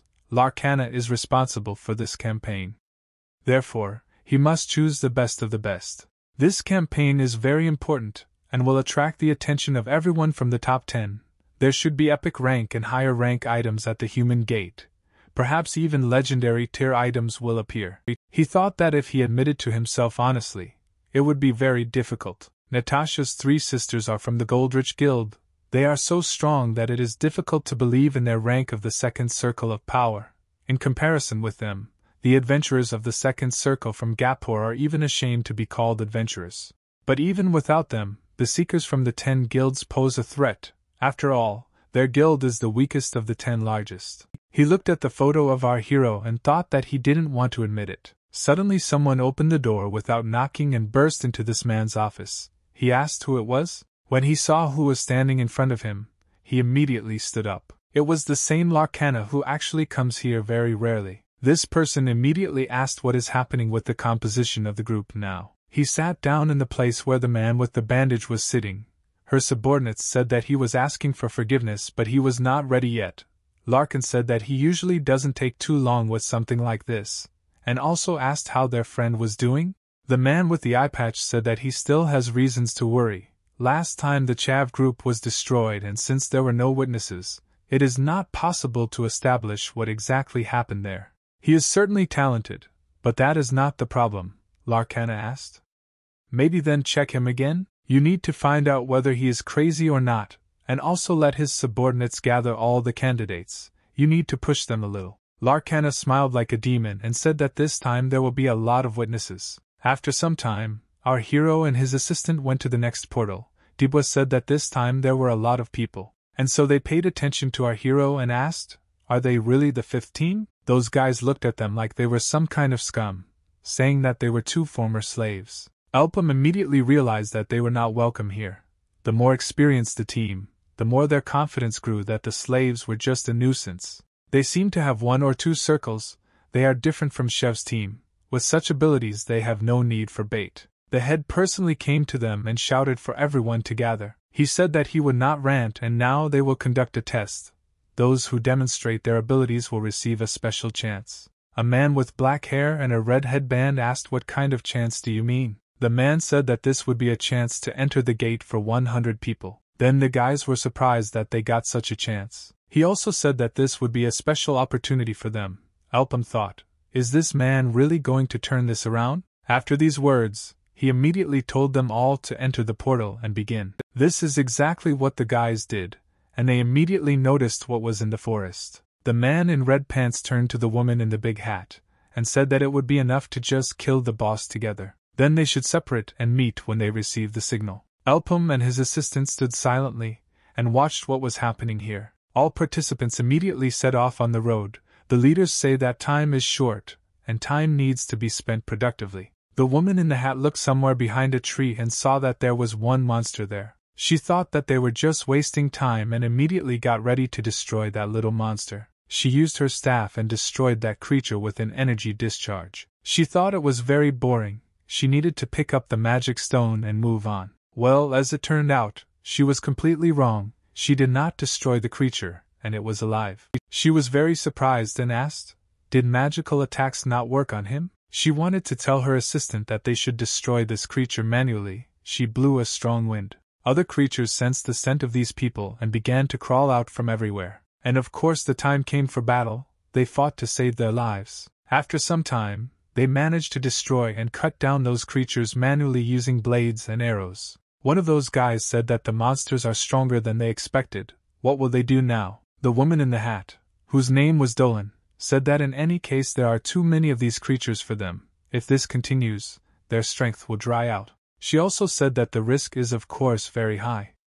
We need to break the alliance and kill the boss ourselves. Meanwhile, Elpham was telling this to his assistant. He said that this is exactly what most of the teams would think. Debo said that this would definitely be the case, and not too proud, and he also said whether the boss was going to help him with these creatures. He was just talking, Elpham answered him that there were only three of them here, and he himself was doing a good job.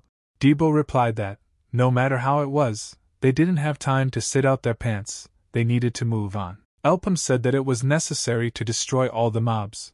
Debo said that they would start a boss hunt. They said this at the same time. Debo did not understand what they were talking about. He asked his boss what he saw. He had just spoken about that monster boss. Elpham answered him that others would think so and they would engage in mass destruction of mobs. Killing the boss is not the only indicator of ability. Hunting small monsters also takes into account, in addition, it can be dangerous to compete with a large number of groups determined to attack the boss.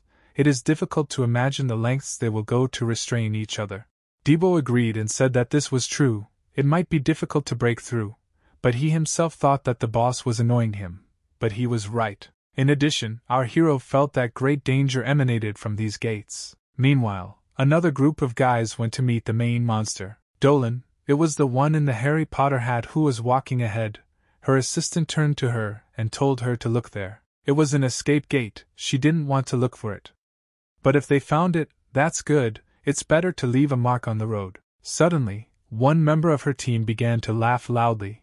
Dolan looked at him and asked what was happening to him, if he should be quieter. But for some reason he laughed without impact, like a man man from a mental hospital. The head approached him and grabbed him by the shoulder. She wanted to calm him down so that he would not attract monsters. But when she looked at him, she saw that his face was all sweaty.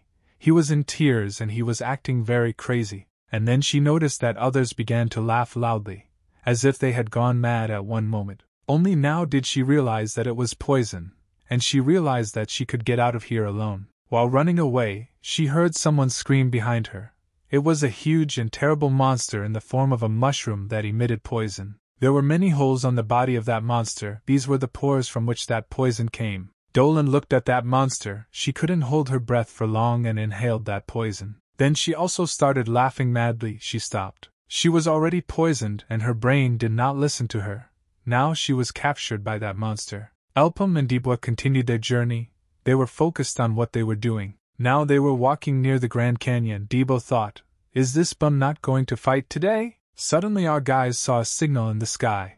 It was a signal to assemble. The guys immediately went to where the signal came from. Debo was surprised that they notified everyone when they found the main monster. Elpham looked closely and noticed that something was wrong here. There was not just one team, all the teams were here except one. The man in the red headband said that it looks like everything is here. Then he begins to explain. One of the women said that the magician Dolan's team is still not there. Then the man said that there was no point in waiting for them.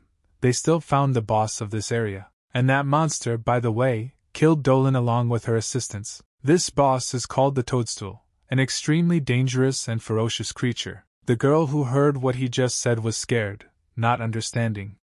Is he really telling the truth now? People began to fuss for food. They said that their team did not have enough strength for such a battle. If everything is really like that, then it is useless to try to clear the gate. We need to look for a way out as soon as possible, Debo asked his boss. Is this clown mushroom really that dangerous? Our hero was thinking that it was now clear who it was, since the current level of meeting with the toadstool is more dangerous for them. Because of the poisons and the spores that monsters release around themselves, close combat makes no sense. You can't take him in a tick either, you can kill him only in range combat. While Elpham was thinking, his assistant tried in every possible way to attract his attention and find out what everything was what kind of monster is this. A man with a red bandage on his head said that unfortunately this toadstool is standing right in front of the exit gate. The only way to get to it is through it. Debo said that this was not a problem, just one fire arrow from Elpham and everything would be over. But Elpham told his assistant to shut up. Debo was very angry when they closed his mouth. Elpham said that without a good strategy they would all die. But the fire arrow can't even scratch him. Our hero's assistant was very surprised and asked why. Even ordinary monsters here have tough skins, so the main beast of this area is not even worth thinking about. A man with a bandage on his head whose name was Iber said that this was nonsense, and it was immediately clear that this was what the slaves were saying. So his assistant turned to him and said that now is the time for me to do this, they need a solution. Elpham raised his hand and said that he needed 50,000 masses from each. Iber looked at our hero in bewilderment and asked what he was talking about. Our hero said that there are only 30 people here, so in total they need to pay one and a half million, and then they will act as baits so that the others can move on. Everyone fell silent. They were deceived by this decision and did not understand why this person was saying such things. Debo began to panic. He thought that the boss had gone completely crazy. Did he really want to kill them? Iber shouted that our hero should not interfere. It seems that his slave mentality has not yet completely disappeared. And let him not think that everything will be as he wants. In this situation, the bait will not save them. If the useless bait dies immediately, then it will all be over for them. In the high level gates, the slaves are only in the way. Then he said, Who the hell are they to say such ideas? He pointed his finger at Debo and said that this idiot hasn't even woken up yet. What can a second circle man and a slave do? Debo was starting to get very angry. She was thinking that he didn't even have the thought of stopping the bait. Why does he keep running into trouble? Elpham, as always, in a calm voice, asked what Iber was offering then, but his interlocutor simply remained silent. He didn't have any idea. Elpham said that means he didn't have one. Otherwise, why would he collect it here? Elpham said that he missed something else. Their team has one person with the second circle, and one with the first circle. Then Debo looked at his hand and noticed that he really had the first circle. I didn't even notice the moment when this circle appeared, now it has talent. Our hero also continued talking and said that we were his interlocutors. After all, only a couple of people with a second circle. The girl who listened to all this and asked our hero to wait. She was ready to pay money if he became bait, although she now does not have hundreds of thousands for the two of them. Elpham said that in this case she will already pay when they leave here. If they cannot escape, then in this case they will simply sacrifice themselves. But his condition is the consent of absolutely everyone. Now there was a tense situation. They needed to decide what they would do next. Still, they decided something. Near the gate from where they could finally get out, there was that same terrible creature that ate those poor fellows that they managed to catch. But someone interrupted his meal. The creature felt someone's gaze on him. Having looked around, this creature saw that it was coming straight towards him, which our hero had released. This fire arrow hit this creature right in the face. The huge mushroom was surprised. His assistant tied the mouths of the Alps with bandages. Our hero told Debo to run only if the mushroom discovered them. Debo didn't understand why he was being punished for all this, but he couldn't refuse. As soon as the mushroom looked around and noticed where those violators of his peace were, he immediately rushed at them. Debo and our hero began to quickly run away. Debo did not understand why this mushroom was so fast. But he really was incredibly fast. He moved like a damn demon. The girl, along with the other team, said that now they must activate the gate before the bait is killed. And now the guys approached the gate and quickly clicked on it to activate it. The gate opened and the guys began to quickly run away trying to save their lives. And they succeeded. A huge creature pursued our heroes who quickly ran away from it. The mushroom roared and right in front of the guys many other creatures appeared that were less dangerous. But there were too many of them. Debo was very angry that something had happened, but he was not going to give up so easily. He swung his weapon and fought with those creatures to clear the way, and this time, he even unexpectedly activated a cutting explosion. Well, the ferocious creature in the shape of a mushroom was already overtaking him. Another moment, and he was dead. But fortunately, Elpham used a fiery arrow and knocked that creature down. On the teeth of this creature there was still fresh blood of the victims he had already devoured. Elpham used a fire arrow again as soon as he saw that mushroom rise to his head. This time, this mushroom realized its mistake and dodged the attack. Elpham immediately used his ring and turned the arrow in a different direction. But that mushroom was very fast. He dodged the attack in every possible way and screamed loudly. Elpham uses an arrow to hit him on the mushroom, constantly dodging and approaching the guys. Debo shouted that he was approaching, then they ran to the edge of the cliff and jumped off from there. The mushroom tried to catch them but did not have time to do so this time. While they were falling, Debo began to tease this monster, and showed him the middle finger. Elpham, meanwhile, used his fire arrow to attack the enemy and hit him. Then they fell straight into the water. It was a fast moving river that moved very quickly. After some time, the guys managed to get to the shore and climb out onto land. Debo was breathing heavily and talking about how they almost died because of this damn toadstool. Elpham rose to his feet and began to wring out his wet clothes. Debo looked at his boss and asked him what he was doing. Elpham replied that he himself heard that this is the main monster. In order to kill him, preparation is needed. The power of our hero looked at his boss with a surprised look. He turned to his respected people and said that his words sounded as if they would hunt this monster. Or did he misunderstand him? Elpham replied that Debo understood everything correctly. Then the assistant asked, Is the boss kidding me? Elpham asked why he was shouting, Aren't they coming to hunt monsters? Debo replied that then he didn't know that the flu was so dangerous, and then he asked the boss if he knew anything about a tactical retreat. Elpham said that if they leave the gate, then they won't be able to come back here. Debo shouted that he knows it. He thought about the fact that they are no longer bait. Doesn't that mean it's time for them to get out of here? He thought about how Elpham is even going to win if his arrows are useless, is this really such a strange way of committing suicide? Elpham said that the situation has changed. Their competitors have left.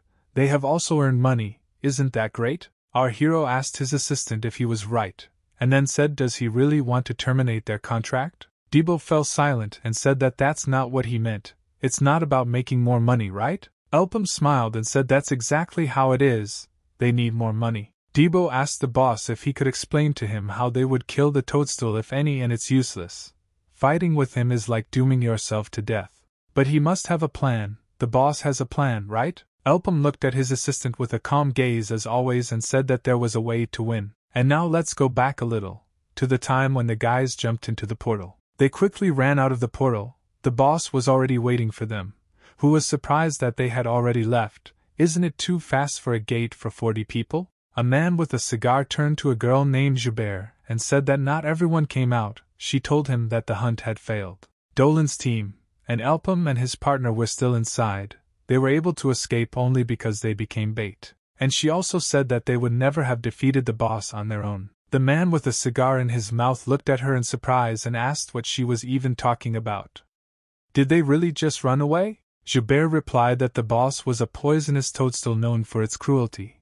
What could they do? Then the man threw away his cigar and turned around and was just going to leave. But the girl turned to him and said that the wind in that portal is still Elpham, the gate is still activated, which means he is alive, and her interlocutor said that it would not last long, after all, she herself said that it was a poisonous toadstool. So he said they could wait if they wanted, but he had things to do, and he just left. At the same time, that man thought that these were just useless idiots. The situation was not encouraging. A person with the second circle will never be able to buy a toadstool, so their outcome is a foregone conclusion. He doesn't need anyone who can run away. Now let's go back to another world. The toadstool returned back to the forest. The sun was already setting, Elpham stood on the edge of the cliff and aimed a fiery arrow somewhere. Elpham seemed to hear the thoughts of the man who finances him. He thought that he wanted someone who could accomplish the impossible. Elpham concentrated and then said that they were starting the hunt and released his arrow. The arrow quickly began to fly, enveloping everything around in fire. And compared to other bosses, this one is very strong. The matter is complicated by the fact that poisonous fumes emanate from it. All that remains is to maintain a distance and put pressure. With the current level of fire arrow, this will be problematic, and if you use telekinesis and rotate the arrow at high speed, the penetrating ability will increase. Essentially, the arrow turns into a bullet. In the world of Maple, only Elpham can use this method, which allows him to accomplish the impossible. This method was called a revolver. The untwisted arrow rushed straight to the head of the toadstool, and then the toadstool received damage, the creature screamed loudly. The arrow went through like a bullet, piercing the flesh of a terrible monster. Elpham, as always, was focused and confident in what he was doing. It was the arrow that picked up speed from above so that it even crushed the trees in its path. Elpham wanted to immediately drink the head of the creator, and at the same time the core. He missed us a little. This creature even began to anger him. The enraged monster, bleeding purple blood, roared loudly. Then the terrible creature rushed forward and began to hit directly towards this place from where the arrows were flying. Elpham continued to shoot, but the creature could dodge when it saw where it was being attacked from. Using a revolver does not allow you to easily control the direction of the arrow, and I also have problems with the reload time of the skill. But you still need to put an end to the toadstool before it takes advantage of its recovery. The toadstool was getting closer and closer to its enemy. Debo stood behind a tree and waited in the wings. The ferocious creature was very close to him. This terrible mushroom screamed loudly. Elpham shouted to his partner that now is the time. Debo quickly left the rope and pulled it between the trees. The pale grebe tripped over this rope at high speed and began to fall. The creature fell into the swamp and then began to quickly rise there. The ferocious creature froze for several seconds, trying to understand what had happened. Elpham just stood and waited. He was the bait while his assistant had to do the rest of the work. Mushroom screamed very loudly, wounded and humiliated, but he felt that something was wrong here. Suddenly, from behind the trees on Debo's rope, I threw my axe straight at the creature's head. It hit exactly where it needed to, it hit the head, and then he pulled himself up by the rope to return his weapon back to himself. And in less than a second the axe was in his hand, the bloody creature began to emit poisonous gas. Debo was serious about the fight, he beckoned the creature with his finger and asked if his opponent was ready to dance a bloody tango. He stood in front of the bloody mushroom with his weapon in his hand.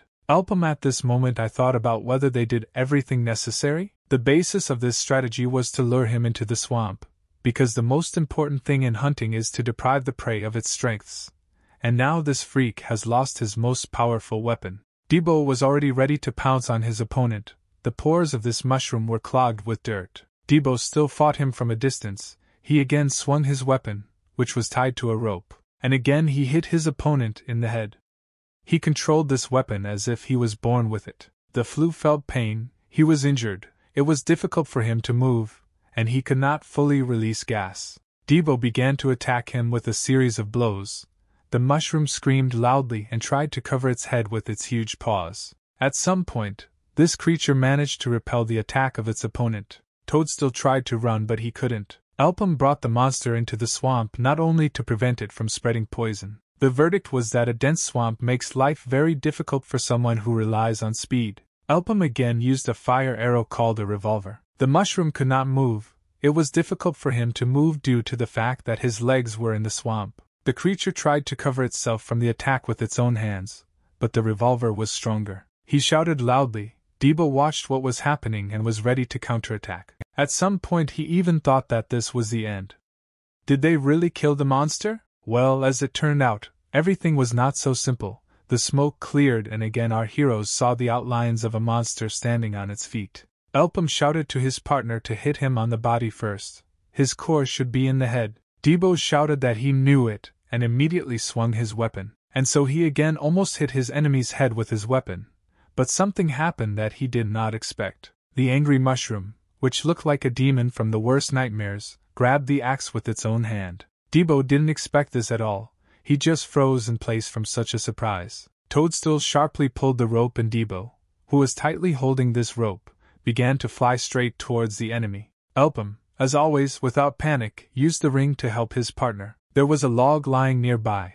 Our hero grabbed this log and threw it straight into the toadstool. Debo grabbed a branch from this log right in the air. The toadstool threw the log away, managing to react. But in the meantime, his legs sank deeper and deeper into the swamp. Elpham managed to dodge, and he ended up behind the toadstool. It was an advantageous position. With a turn, he hit the toadstool on the head with his foot.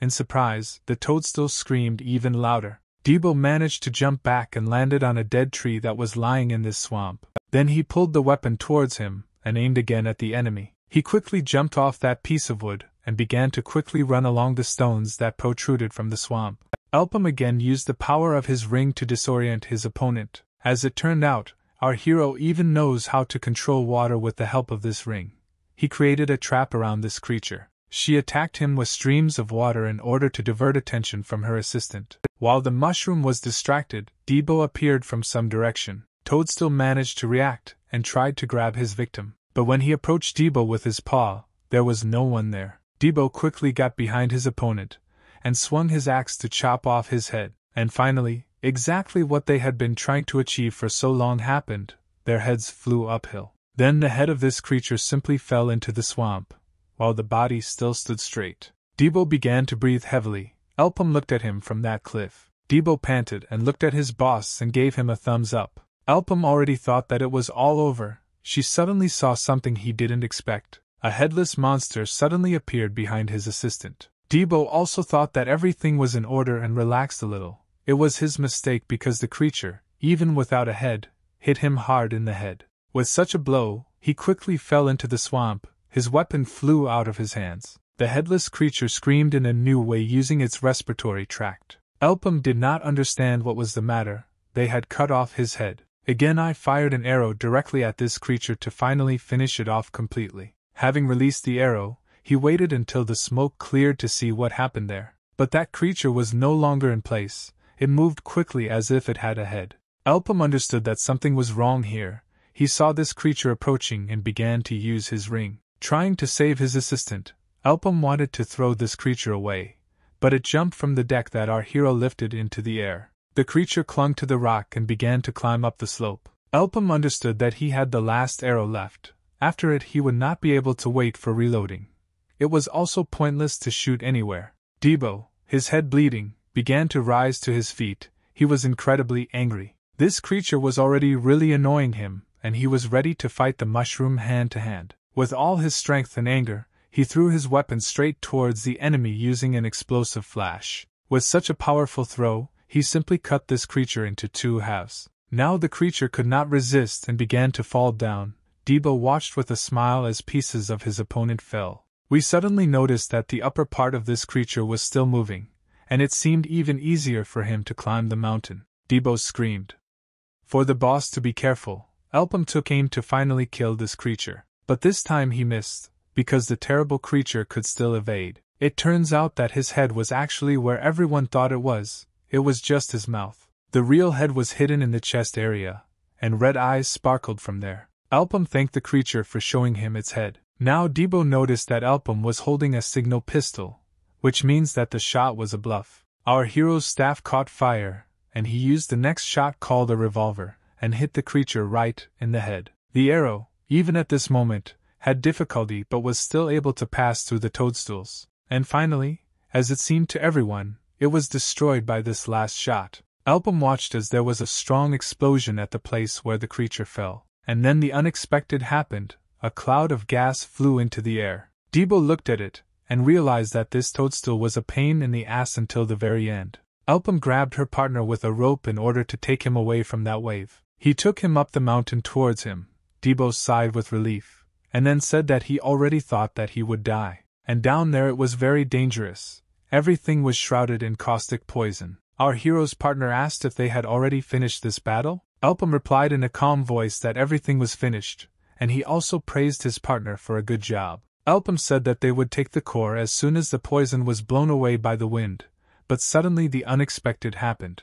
The upper part of the toadstool, which no longer had a head and which emitted only poisonous smoke, flew into the air. The guys saw inside that creature a core that they needed to take away. The creature was still dangerous, it exuded acrid smoke, it was almost lifeless, but it was going to kill those who attacked it. Debo inhaled this caustic poison and immediately fell under its influence and began to laugh. Now let's move to another place. There, too, one man laughed loudly, turning to his interlocutor and asking, Is this really why he returned? It was the same head of this organization who told the man with the eye patch that he was still just as mischievous. The man with the eye patch asked for forgiveness and said that he thought it would be best to hand the matter over to the Swan Knights. Someone knocked on the door. The man with the bandage immediately shouted that he had already said that they would have a meeting, so let them go away. But apparently they weren't going to listen to him.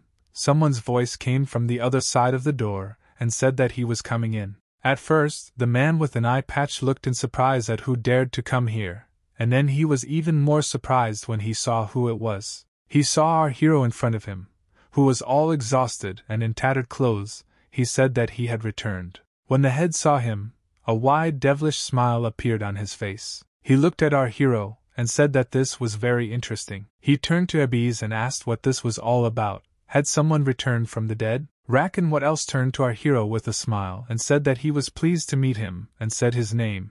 And he also said that he knew about our hero and knew his name, and besides, he justified the rumors about his ability to survive.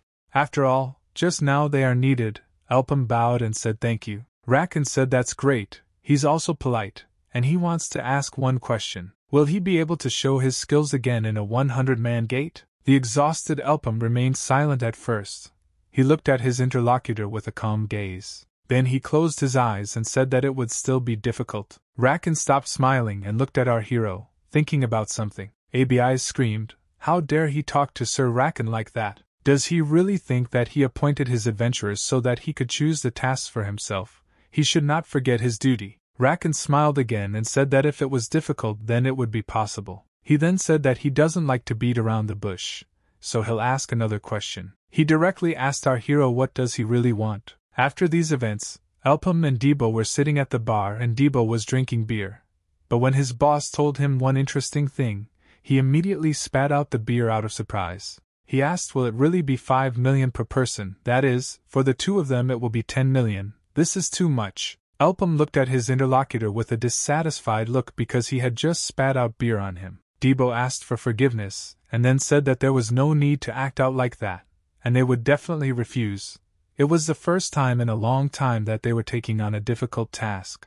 Elpham, wiping his face, said that these were not his problems, they would solve them themselves. Debo said that his boss is acting as if nothing had happened after making such a fuss. If they fail, Edbees will take them to the Black Book and finally old friends approached them. One man said that they looked very relaxed. It was the same man with the red bandage on his head. he said that they felt like they were dying. Debo got angry and got up from the table. He asked if he really thanks his saviors like that. He also said that he didn't like him right away and let him follow him. They should forget about ranks and have a good fight. But suddenly that man and the girl who stood nearby bowed their heads before our heroes and asked for their forgiveness. The man with the red headband said that they judged them fairly, and doubted their abilities. Now he is ashamed that he is such an adventurer, and he wants to apologize from the bottom of his heart. Then he extended his hand, in which was a bag with one and a half million masses, and besides, he reported some money on his own to thank them. Dubois was very surprised by this behavior of this man. He thanked him out of surprise.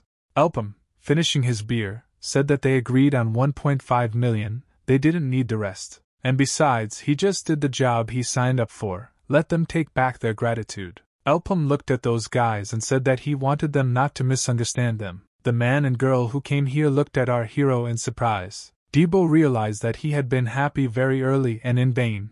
Now he would have to recalculate everything. Elpham turned to the man with the red bandage on his head and said that he must be a pirate, and besides, his name is Iburu? Our hero asked what about him, can he do the job he was paid for? The next event unfolds in a different place. Now, a man with a black patch over his eye says that they cannot do this. He stood in front of his boss and said that they couldn't give them 10 million masses, the kind of sums that adventurers with three or four rings receive. He was certainly the best candidate for this job, but if they agreed to his terms, they would set a bad precedent.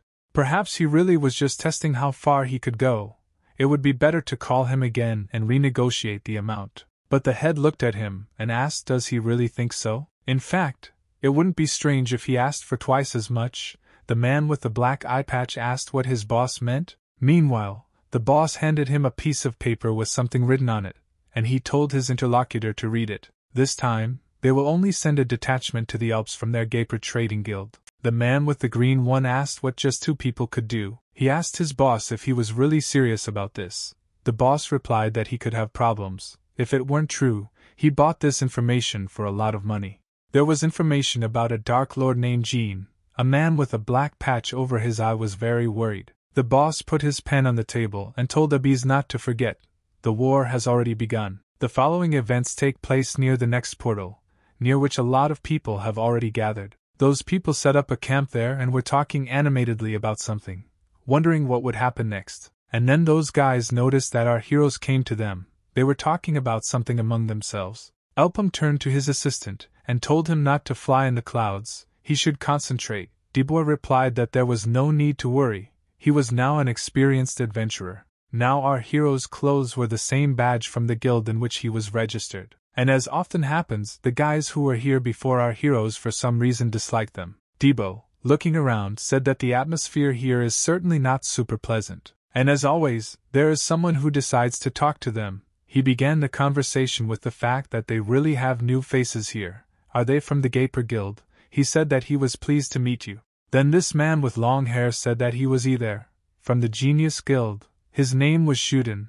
Elpham said his name and said that he was rank C. Then his interlocutor was very surprised, because he thought that only people with one or two circles could enter here. Therefore, he was very surprised that our hero was of rank C. He did not understand why this was so. They were approached by a woman who said that she would like to talk to Elpham. She said that she had an affair with this man. He was a rather pretty and slender woman. Then Shuden turned around and started to leave. He realized that this person must be with them. He just wasted his time. The next turn of events takes us to another place where our hero asks his so called boss why he has to do this. Ebby said that he should just do what he is told. Why so many questions? Their trade guild, Gapor, will work together with the Order of the Knights of Cygnus. They follow the teachings of Empress Cygnus and are the strongest squad. Those who are called the symbol of power became interested in these gates. Who are you at these gates were already occupied by other guilds, so they decided to unite with them, even though these knights are still learning their craft. But with them they will have more chances. He also said that although they may have other motives for completing this dungeon, they made them a good offer. Elpham said that he understood everything. There is nothing complicated, and you just need to work together. Ebbies said that he simply wouldn't, he felt like there was something wrong with them. The blonde woman said that her name was Curie, she was in charge of the rookie squad of their order, and she hoped that they would not think that they were of the same status just because they exchanged a few words. Dubois. When he heard that woman said that she didn't need personal problems, so let them listen to her orders and silently carry them out, Dubois asked what kind of relationship she had. An arrogant woman asked, Are there really only the two of them from the Gapor Guild? Elpham replied that everything seemed to be so, then the woman lowered her head and said that it seemed impossible. Gapor finally gave up. While they weren't talking, another guild, Dig, approached them. It was Crocus's squad. There was also a trade guild called Merdia.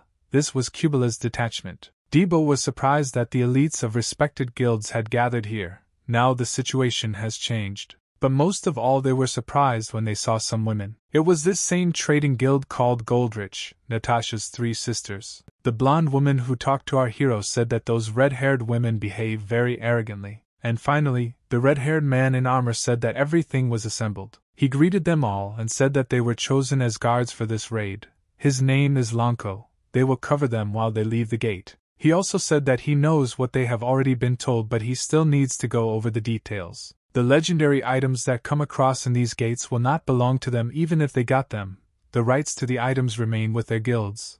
They will be paid the amount they agreed to. But they should be glad that they were at least allowed to keep the magic stones. And if they are caught while they are trying to steal an item, then the following will happen to them. Such people will have to face their B rank squad, and everyone should remember this. When this man raised his hand, Debo noticed that this red haired man had five circles. What surprised him even more was that it looked like they were all like this. They must be very powerful. Then that man said that that was all for him.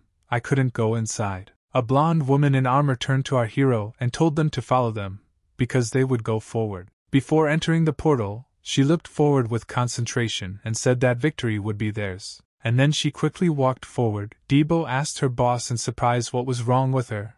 Do they really need to work with someone like her? But our hero thought that finally what he needed had happened. He worked on himself precisely for this gate. He was in this gate even in a past life. But he must prevail. He thought that this was where everything would begin. Elpham told Debo to follow him but his assistant said that he would not help them even if the tears started to flow. They entered the gate and were immediately transported to a completely different world. They appeared in some field and followed forward. There was even some kind of path there. The thickets here were very tall. Dibwa asked his boss if he knew anything about this world. Why is the grass so tall here? The woman in armor asked if he thought they came here to admire nature, let him move faster, and keep up with them. Debo looked at her again angrily and turned to his boss asking are they really going to put up with this. When he looked at Boss, he saw that he was behaving somehow strangely. Elpham put his head to the ground and seemed to be listening to something. Dubois asked what the boss was doing, but he already knew what he was doing. He felt vibrations in the ground, and not far from them a lot of dust appeared. And finally, when they looked around, they realized that a tape pig was approaching them. There were a lot of them, and they arrived very quickly, the guys realized that there were at least 1,000 of them here. The woman in armor shouted that they should not stand rooted to the spot, they should split up. Not everyone has entered the portal yet. Then the other guys also tensed up. These are the rules. You can't attract enemies into the dungeon. The El Nido Trade Guild began to quickly run away in the other direction. Someone approached them saying that they should run in a different direction. But they said that they would run exactly in the direction they themselves had determined. Fierce pigs quickly jumped out of the dense thickets and rushed at the people. First of all, they ran after the knights, then the head of the knights said that this was great. They would lead them to an area where there would be more obstacles and kill everyone there. One of the members of her guild turned to Lady Kiri and said that they had a problem. People from the Gapor Guild had disappeared. There was a light wind at the hem, and in the meantime our heroes were away from those pigs. Dibwa said that this wind was very refreshing. He turned to the boss and said that now he could relax. But how did he understand that the tape pigs would attack them? Elpham said that from his own experience he can say that such terrain usually looks like a herd of animals. The average length of tape pigs is 2m. They are very aggressive. They usually move in groups that consist of hundreds or even thousands of individuals. Elpham was confused about the fact that they are a tough opponent, but they can be killed. Most likely other guilds also think so, it's just that our hero thinks that they will try to avoid battle immediately upon entering the gate in order to save their strength. And since no one knows who they will stumble upon here, it is unlikely that everything will end with just pigs. Elpham thought that no one had returned from this ride before he returned. Debo, you noticed that the boss was somehow suspiciously silent, and asked him what was he thinking about. While he was looking at his boss, he did not notice that a rope appeared under his foot, and he tripped over it with his foot. As soon as the rope tightened, the trap immediately went off. Many huge sharp stakes almost killed Debo. Elpham quickly pulled him away. Debo was very scared when he almost fell into this trap. Where did she come from? Debo even panicked for a moment because he almost died such a stupid death. Who put her here? The following events take place in a slightly different place. But in the same world, someone cut the rope and a huge wooden block began to fly straight at him. But this bald man managed to react, and quickly cut that log into two parts. Then he looked at his assistants, and said that this was some kind of childishness. One of his assistants said that he had already finished clearing this place, and it seemed like they had already done everything. The masked man turned to the man with the scar on his head, and told him not to let his guard down. This was a distinctive feature of this guild. Their leader wore a white mask. He thought that they stopped some small traps, but they should be enough to kill on the spot. Moreover, they copied the principles of hunting people. From this alone, one can say that these monsters are unusual. It looks like they have a very developed intelligence. These are local goblins. It will be more difficult to deal with them. They are equal to the boss from the Red Gate. The man with a white mask on his head said that now they know what to expect. But this place definitely has a high difficulty. Everyone would have died already if it weren't for an adventurer of his level with them. Then he turned around and began to walk forward, saying that he needed to turn this state of affairs in his favor. First, he said that we need to follow him. And then he said that we need to make sure that they didn't leave anything behind. When he looked around, he noticed that his interlocutor's head had been blown off. And then the other guys who were in his guild also had their heads cut off instantly. The last thing his flying head thought was what was going on here. That man's head fell to the ground.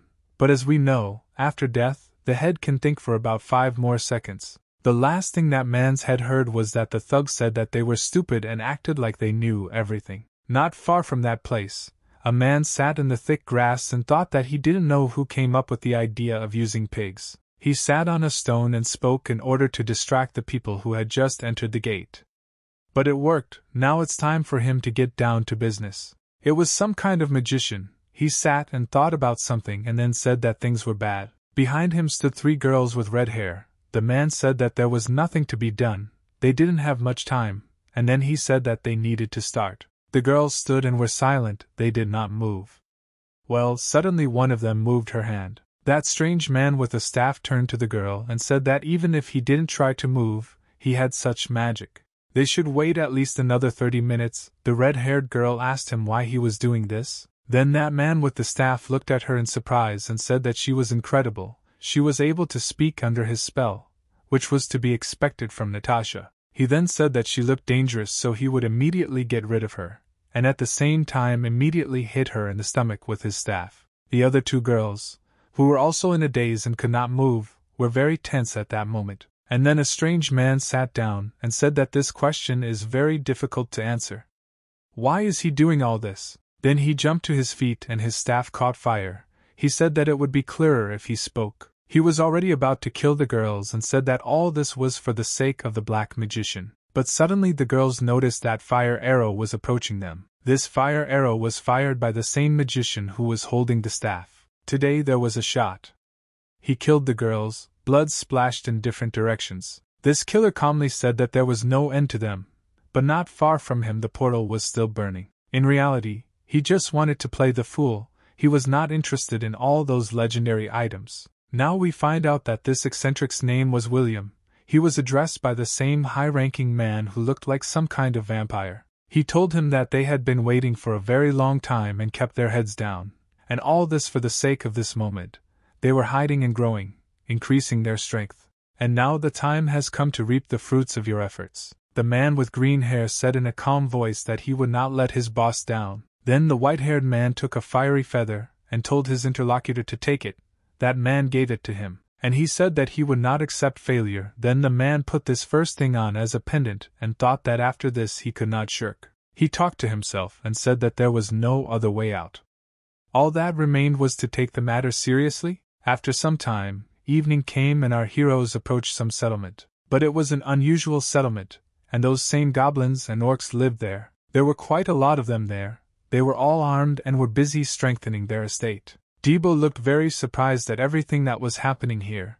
He could not believe his eyes. He asked his boss who else they were and why they were all green. He had never seen anything like that before. They all look like they are bosses. Elpham said that he already said that there is only one leader among them. The problem is not only their number, but also that they are strong and have a lot of health. And judging by the fact that they take the adventurer's items, it will be even more difficult to resist them. Some of them can also use skills. Debo was already starting to panic. He asked his voice what the hell is going on here. Because they are all like a crowd of adventurers, can the two of them really deal with these monsters? Elpham said that his partner is damn right, and he grasps everything quickly on the fly. Debo continued in a panic to ask what this I mean. He says that they cannot be defeated, you just need to go back and join Kiki, Kiri, or whatever her name is. Elpham asked what was the matter, didn't Debo want to get rid of them? Debo replied that he didn't know then that they would meet such monsters, and he wasn't going to attack them together. Well, what can Debo do in such a situation? He can't help but listen to his boss. Meanwhile, the green creatures, armed, went about their business. One of those orcs sensed some movement happening behind him and looked around. It was Debo who tried to chop the big green guy with his axe, but he managed to dodge. Debo, he shouted angrily, is he really doing this on purpose? He didn't mean that he would go at them alone when he said that they wouldn't go into battle together. The orc's eyes glowed brightly, and he began to try to hit his opponent. Debo also managed to dodge his attacks and then jumped quite high right above the enemy's head. He quickly jumped over it and did not fall under the attack. Then the two of these creatures attacked Debo. A deadly fight ensued. Debo tried in every possible way to evade. Although the creatures were huge, they were very fast. After a few dodges, Debo finally began to strike with his weapon and he managed to hit that orc's head. After we hit Wee in the head, he immediately swung his axe and cut his leg. The ferocious creature fell to the ground very loudly. This orc began to scream loudly. While he was wounded, Debo immediately approached the orc to deal lethal damage. But that orc was a little faster than the first one, and he quickly dodged and did not fall under the attack. When Debo looked at the enemy, he saw that he was already preparing for a powerful attack. This time Debo did not have time to react, and he received a powerful blow right in the face. From such a powerful blow, he flew straight into a tree and hit another one. Blood immediately began to flow from his face. But he was almost okay and said that with these creatures, not everything is so simple. The orc immediately began to attack the guy further and wanted to kill him. Finally, Debo managed to bend down and the muscular green creature simply cut down the tree that came under attack. Debo took advantage of the moment and managed to cut off the creature's hand. But the orc immediately grabbed Debo by the face and threw him very hard on the ground. He wanted to hit him like this several times, but Debo managed to twist the orc's arm and free himself. The orc pulled his hand back and Debo quickly jumped away from his opponent. But at that same moment, he immediately jumped straight at the enemy and his weapon caught fire in his hands. Debo was very serious at that moment, and he managed to defeat his opponents, but not alone. Debo tried to shake off the dirt, and said that he no longer hoped that Elpham would help him. Elpham said that his partner did a great job himself. Now he will be more confident against them. Debo said that he only doubts even more now. If they meet a huge crowd of such monsters, then he will definitely not be able to defeat them. But suddenly, walking through this forest, they noticed the bloody bodies of headless people. These were the Cygnus Knights. But who killed them and what even happened here? One of them was still alive. He was bleeding and Debo immediately drew attention to him. It was a survivor who was seriously injured, and he was breathing very heavily. Elpham approached him and said what happened here, and were they really attacked by goblins? That man in armor said that it was nothing like that, it was trolling. Meanwhile, a man with a cigar in his hand was sitting in his office and thinking about something. He slowly smoked a cigar and thought that this was some kind of nonsense. And now we should find out what trolling is. There are people who attack adventurers. Taking advantage of the fact that no one knows what is happening inside the gate. This means that the gate is an ideal place for a crime, since all evidence will disappear after it is closed. Well, in this case, these are competitions without winners, now the people inside must confront our opponents strongly with fewer people on their side. And even if one of them manages to pull off their job and bring out unique items, suspicions will still fall on them. The man with the cigar was thinking about the fact that they did this in order to destroy the best warriors of other trade guilds, Such a reason is not very convincing. Even if this is so, they risk starting a war with everyone else. The guilds did not seriously think about such risky operations, but maybe is someone else responsible for this? Debo turned to the boss and said that this simply could not happen. Elpham said that he did not see this woman here. Then the wounded warrior hit the ground with his fist. Bleeding, he fell to his knees and said that it was his fault. There was an enemy among them. Why did Lady Curie do this? Elpham said that he does not understand why she would troll if she has membership in the Knights of Cygnus. The wounded man said that it was difficult to believe that this was true, but now he understands why she gave him the order when they entered the gate. Before it was all over, Lady Curie herself said so. She directly said that she was a follower of the Black Magician. Debo, as always, was surprised by everything, and our hero stood calmly and simply thought about the situation. As one of the superiors, the Black Magician, along with countless followers, threatened the Maple World 800 years ago. A superior is a powerful being who can control the three fundamental laws of the universe light, life, and time. In the case of the Black Magician, he was a former superior of light. Six heroes remained to stop him, and when the Black Mage and the six heroes entered the battle, the situation changed. The Allied forces launched a counterattack against the followers, and in their ranks, which led to the destruction of the followers of the Black Magician. All the inhabitants of the world of Maple know about this. Debo said that you cannot be that she is consistently a black mage. Elpham said that they are similar, and that this time they will not be able to hunt monsters. The first thing they need to do is find that woman. Elpham asked that wounded man if he would go with them, he had better be prepared for battle by the time they found her. The wounded man, who was bleeding from his mouth, said that this is exactly what he wants. Meanwhile, there, a pretty lady named Lady Curie was running quickly among the thick grass. Suddenly she discovered in front of her on the way that same magician with the staff who turned to her and said that he was waiting for her. Next to him was another hooded thug who stood next to that man. The cross eyed magician said that it was she who was responsible for the ribbon pigs. Thanks to the fact that they were all separated, it was easier for them to stick to the plan. And now they had almost reached the final stage, and then he asked her how she would like their gift. Curie drew her sword and turned to those people asking who they were. Meanwhile, our heroes helped the wounded man move. Debo said that they could go slower if he was in pain. The boss still went forward, but his interlocutor replied that he was fine and thanked Debo. Our hero's partner said that there is no need to worry. The boss knows how to find what he needs, they will be there soon. He said that this was good, what a relief, and behind his back he held an enchanted blade that was already ready to be used in battle. At the same time, the sound of steel and other metal could be heard elsewhere. Curie fought with that thug, and besides, he was not alone. The magician watched this and said that it was impressive, which was to be expected from the head of novice knights. Well, who knows how long this will last? Lady Curie was not going to give up. She cast a spell called Rising Sun, and her blade lit up with a bright light. She was attacked by a woman with black hair who asked her why she stood up.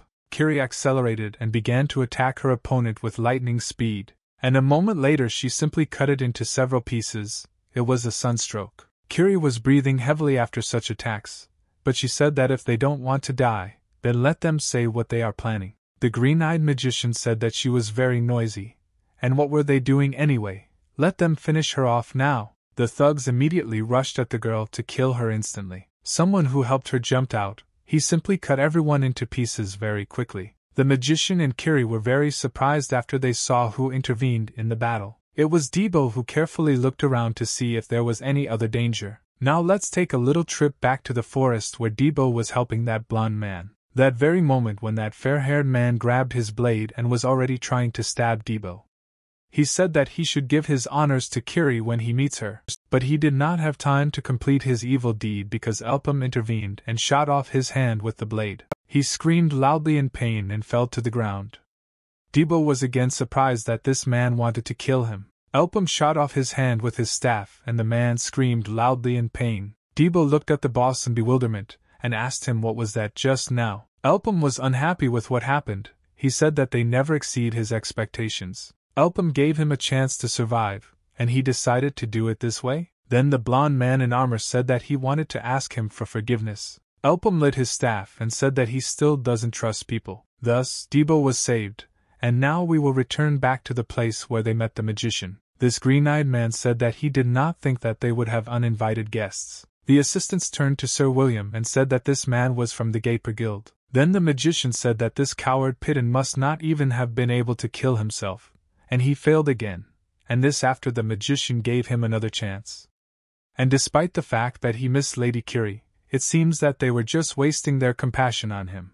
Well, bad luck, these two look pretty strong, so we'll have to take advantage. The magician said that he would have to use their elite, and that we could find our old acquaintances. Curie shouted to Debo to be careful, these bastards are very strong. Debo said that he knows everything himself. They are just perverts. The girl asked what he means. William shouted for them to go wild here. Those guys immediately rushed into battle. Debo asked Curie if she could handle at least one, and he would take on the rest. She replied that she shouldn't underestimate her. Debo reacted to his opponent's ferocious blow and managed to dodge. Then he tried to cut off his opponent's head, but he also managed to react. Debo was confident in his abilities, he said that there was nothing special about it, right? The next blow came from where he did not expect.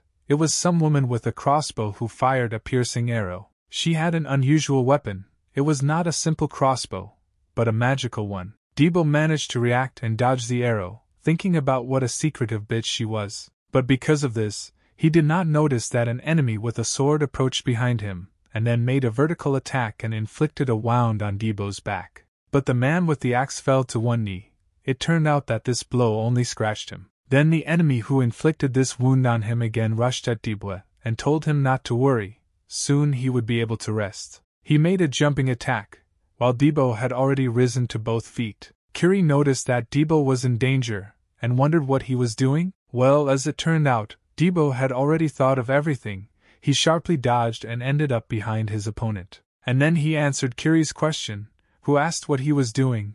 Debo said that he was just playing along with his opponent. He cut it with a sharp movement of his axe, leaving no chance for the enemy. Immediately after him, a man with a spear ran up to Debo and wanted to pierce him. His attacks were almost lightning fast, but Debo managed to dodge. Returning several times, he struck his opponent with incredible force. There was another man in armor. He didn't understand where this guy got such strength. Suddenly, behind him, he heard something approaching him, and the voice of Curie who said that they were disappointing her. As it turned out, she hit her opponent, and the man in armor managed to dodge so that the opponent did not fall on him. Curie asked, Do they really call themselves or this? It's just a shame. Those guys understood that they were losing here. They were furious with what happened here. The magician said that he could not allow this farce to continue any further. He decided to put an end to this, and said that they had already wasted their too precious hour on them. Debo knew this technique. He understood that this magician would now release a fiery arrow. A moment later, the arrow was already approaching Debo's head. He was very surprised that this arrow was much faster than his boss. Then an explosion occurred in the place where that fire arrow hit. The cross eyed magician said that his opponent relaxed because he saw a familiar spell, his fire arrow at a completely new level. Well, even though he had seen something like this before, he still couldn't dodge. Now the magician said with relief that it seemed they were over. Now we need to move on to conquering the gates. But something happened that he did not expect. When the smoke cleared, he saw that Debo was okay. There, right in front of him, stands Elpham, who defended his partner. Elpham looked into the eyes of that cross eyed William. He was thinking about something. Meanwhile, William looked at his opponent with incredible surprise and asked who he was. Elpham raised his hand to the side and used his ring of levitation. He said that their guests would be coming soon, and as it turned out, he attracted those ferocious pigs here. The ferocious pigs began to trample in a crowd right on those guys who stood in their way. The tape pigs started attacking those guys and they tried to fight back. But William was quite powerful, he managed to defeat that huge creature that was approaching him. He thought that they were making his life very difficult. They ran away immediately after setting the pigs on them. William told those guys to follow him, but one of them apologized, and then he said that they had just finished with these creatures. William said that they don't have time to regroup, so they immediately set off in pursuit. William thought that if two of you leave the gate, they will definitely have problems. By the way, that guy is very unpleasant. He had some strange feeling, one of his assistants said that there were traces here. William said that it was good, if they were the first to stumble upon the man in the cloak, then just let him restrain him, and he would deal with him himself. But William's assistant said that he didn't have to fight him alone, if he allowed. This man didn't look like a weak bug. William said that there is no need to worry about it.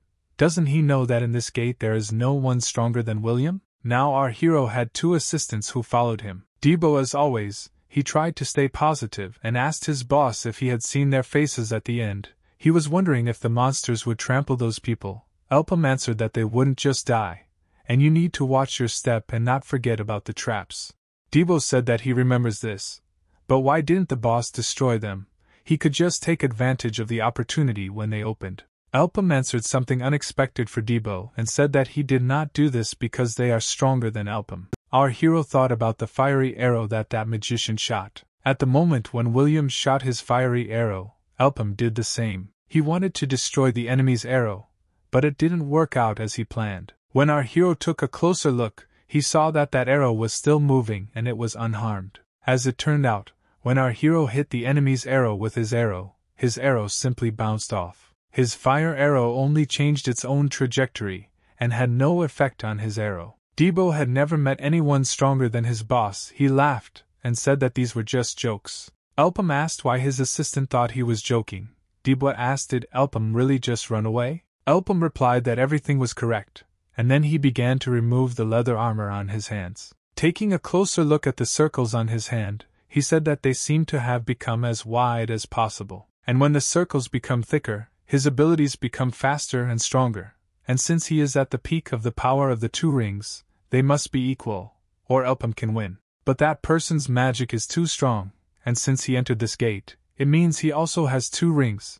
Perhaps he somehow strengthened his abilities. Therefore, he is most likely the strongest strong adventurer here. Debo asked what they should do then. Maybe they should set goblins on them, Elpham said that not everything is so simple. Goblins are different from tape pigs. They can find out what their relationship is with them and use it against them. Debo asked the boss, Is all this true? Does he even understand what situation they are in now? Curie said that what is important now is that the follower of the Black Mage was able to penetrate the ranks of the Cygnus Knights. This is a problem on which the fate of the whole world will depend, and they need to leave now. She clutched her sword in her hand and told them to forget about conquering the gate. Elpham said that it didn't matter. Debo asked what his boss was talking about now. Curie was very angry and said that this was to be expected from the former coffin. He still wants to get a small reward from this raid. Elpham I said that they should assume that she will be able to tell about what happened. But what will she do after that? Does she really think that she can get rid of them this way? Don't underestimate them. The followers of the Black Paper hid their identities for several generations and grew deep into the depths of several centuries. If they announce that they have returned, they will only begin to cover their tracks by digging deeper and deeper into the ground. If they begin to hide, it will be impossible to find them. They will only become poison that will poison the maple world where no one will see them. The girl got very angry and ran up to our hero and then grabbed him by the clothes and screamed that he was saying that this wouldn't work. Well then, what does he propose? And let him not dare to wag his tongue. He did not offer any plan. Now you the thugs are chasing them. They need to escape before they understand them. Elpham, as always, was calm and said that he would just need to show those guys something. He took Curie's hand with his hand and said that he needed to show them which of them was really a hunter. Meanwhile, there was already a hunt for our heroes. They were trying to find them throughout the forest. The thugs held their weapons in their hands and quickly ran, looking for at least some traces. The man with red hair turned to his assistants and said that you should find them quickly. After all, if they run away, their own lives will be in danger. And suddenly Debo appeared behind that man. He smiled widely and aimed at his victim, and then said, Did he miss them? He swung his powerful weapon, and the enemy managed to sit down at the right moment. The man with the spear shouted that this idiot had dug his own grave and this time he would finish him off. But it was a trap. Someone stuck a sword into the rope and cut it. So the guy with the spear was simply knocked down by a huge tree. Curie did it. She waited for the right moment, and cut the rope at the right time. This distracted the red haired man, and Debo screamed. Does he still have time to look around? Debo again dealt him a crushing blow, but he managed to dodge and already tried to counterattack. Debo dodged the man's blade with lightning speed, and he was very surprised by this turn of events. Debo noticed that this was an advantageous position for a counterattack, and he dealt his opponent a crushing blow directly to the liver. Then he threw his weapon aside and just started fist fighting with him. He beat him in every possible way, not allowing his opponent to breathe. Debo knew how to fight, so this was just fun for him. But while he was beating that man, a girl with a crossbow aimed at him. And then suddenly she felt that there was someone behind her, and she quickly began to turn around. When she looked around, she noticed that Kiri's sword was flying straight at her head, and she managed to react. She began to quickly turn away to avoid being hit by these powerful attacks. All she had was her crossbow, with which she usually shot back at a long distance. Kiri attacked nonstop, and that girl with the crossbow tried to defend herself by blocking with her crossbow. Kiri shouted in a menacing voice to let this garbage focus on the battle. She doesn't like this situation so much. While this battle was taking place there, our hero went in search of that magician, and after some time he managed to track him down. The cross eyed magician was talking to himself and thinking that it looked like everyone had already started. He's just wondering if Elpham wasn't expecting him by any chance. Elpham held his staff in his hand, he was calm and focused at that moment. The magician laughed and said that no matter how it was necessary to get down to business, their staffs burst into flames. And finally, the magician fired a fiery arrow in the direction of our hero. Elpham also did the same, he used a fire arrow as if with a calm face. Friends, if you want me to quickly make the second part of the manhwa you like, or you just want to support me, then you can use the super thank you function. I will be glad for any amount since I spend several weeks creating one manhwa recap, and sometimes even that doesn't pay off. And thank you to those who watched my videos to the end, you are invaluable. Elpham managed to react and quickly dodge the enemy's arrow, but after releasing his fiery arrow, he immediately used the ring to control it. The distraught magician said that this was excellent, he was shocked by what was happening here. The arrow rushed straight at the enemy, and it seemed to have reached its target. Elpham understood that everything would not be so simple. He just waited until the dust and smoke cleared away. For a moment it even seemed that there was no one there, and that the magician had died. But suddenly, out of that smoke, a whole bunch of some kind of energy rushed out, which was aimed directly at our hero's head. He took a closer look and right in flight noticed that it was something similar to a stone. When he managed to dodge the attack, he felt that there was someone behind him. It was the same magician who asked, is this all he can do? And right behind him, he decided to use a fire arrow to wound him. A moment later, everything around was already on fire. But as we understand, our hero survived this attack. The enemy was approaching our hero through strong flames. Elpham stood and looked at his opponent holding a flaming staff in his hands. The magician asked in surprise, had he really just nullified this attack? He laughed and said that he definitely didn't expect this and said that our hero definitely didn't have the strength to block it. But how did he pull it off? He was wondering what Elpham did now. How did it happen? Elpham did not answer his opponent, he simply remained silent. Then the enemy said that it seemed that he was not very talkative. But that did not matter. He said that they could not continue to chatter, he would figure it out himself, and released his arrow. Elpham also shot his arrow, and used a trick called a revolver. William was very surprised when he saw what happened for the power. Had he already spun the fire arrow using telekinesis, it completely crushed his spell. He had never even heard of this before. Where did he learn it? All these thoughts flashed through his head in the blink of an eye. Then an explosion sounded. William said it was amazing. He saw how his opponent enhanced his ability with telekinesis. And now he realized that his opponent turns out to be a real genius. Williams smiled devilishly again and said that he just wouldn't see geniuses more than anyone else. He used the fire arrow again and said that he wanted to enjoy this moment a little more. He wanted to see how Elpham would pull off this trick again.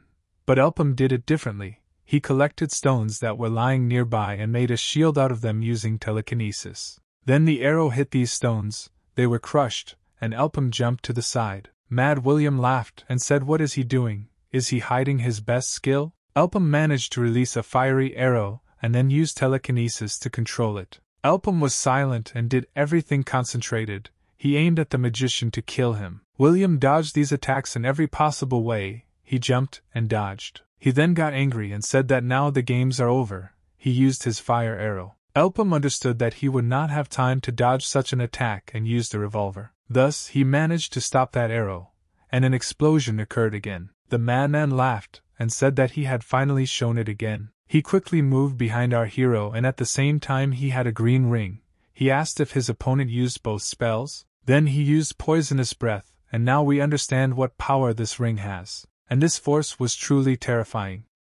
Everything around began to be shrouded in caustic poison. When this poison began to dissipate, William already hoped that his enemy had suffered. William said that the poisonous breath is, of course, powerful, but while he uses it, he remains completely defenseless. He asked our hero if his elements are this telekinesis and fire? If he can determine how long the recharge of the fire arrow lasts, he will stop his advance. Elpham froze in place. His opponent said that now he would not be able to move for 30 minutes. The arrow is also reloading, so let him forgive him for being rude, but he will have to finish him off with a blade.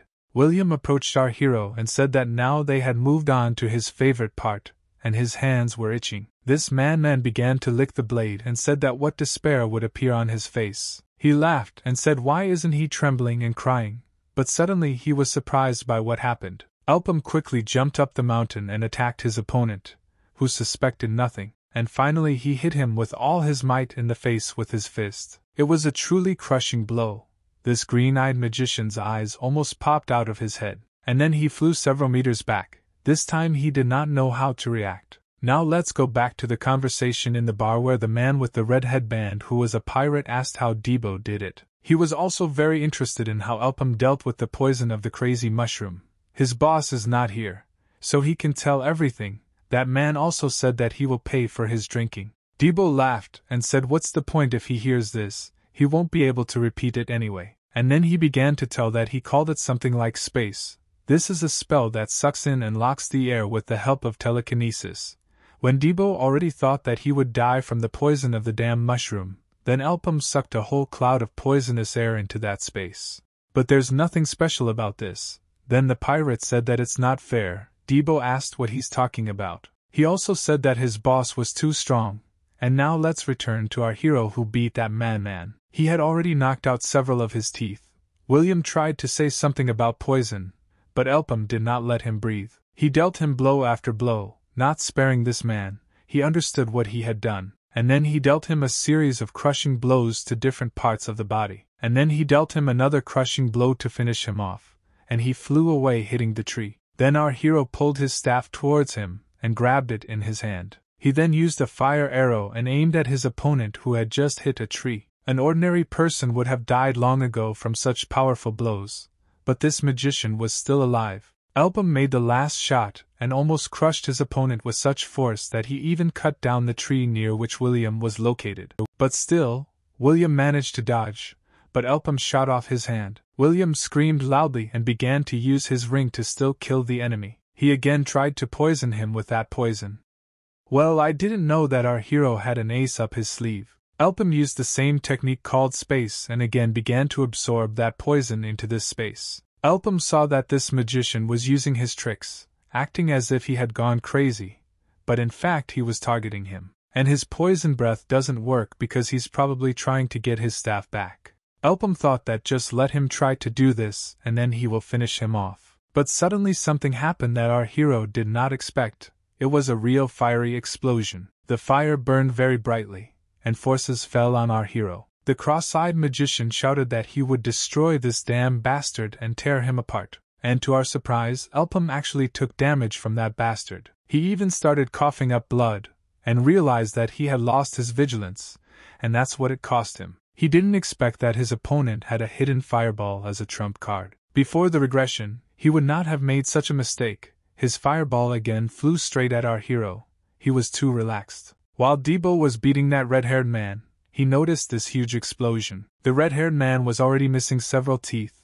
Debo began to worry about his boss. The blonde girl cut off the head of another of her opponents. She said that there was no need to play with him, just let him finish him off. Elpham's opponent is very strong, he can handle it alone. Debo said that he didn't intend to do it that way, and don't let her order him. But suddenly someone killed the man he had just beaten. Someone shot an arrow at him, and hit him in the eye. These were orcs and goblins who had crossbows and other weapons. Debo said that he had already forgotten about them, they had not been seen for too long. The girl said that these were the green goblins. They would quickly finish with them. Debo said that you should not underestimate them. Dealing with them is not so easy. Besides, they have someone very strange. they carried their leader on his wooden throne. William looked closely to see if our hero was dead or not yet. He tried to peer through the flames. But suddenly he felt that he had a hemorrhage inside and blood began to pour out of his mouth. And then he just started vomiting blood. This was accompanied by insane pain. And then he raised his head and smiled, said that he recognized that his opponent was not a weakling. I did not think that he would bring him to such a state. And then he said maybe you should have asked his name before killing him? The voice of our hero who told him that his name was Elpham. William thought that this was impossible. Elpham came out of that flame and told his enemy to remember this well. This is the name that he hears. William laughed and said that this damn cockroach won't die. He's trying to bluff that he's no match for William. Elpham held the cannonball in his hand and said that his opponent had only two circles and therefore he could not catch up with him. The magician saw that it was a mana stone. He was incredibly surprised when he saw it, and then he laughed loudly and said that his opponent was madness. Would he really put his hopes on this? He wants to absorb the mana stone and get another circle? He laughed loudly and called our hero a brainless bastard, and said that he wouldn't succeed, because he needed enlightenment after going through a lot of training. Elpham said in a calm voice that everything was correct, and then he applied the experience of the Enlightenment, and everything worked out for him. William fell silent and looked angrily at what was happening now. The third circle appeared on our hero's hand, which means that he became even stronger. Elpham said that he already had enough of both. This moment was especially epic. William shouted that Elpham was trying to scare him again.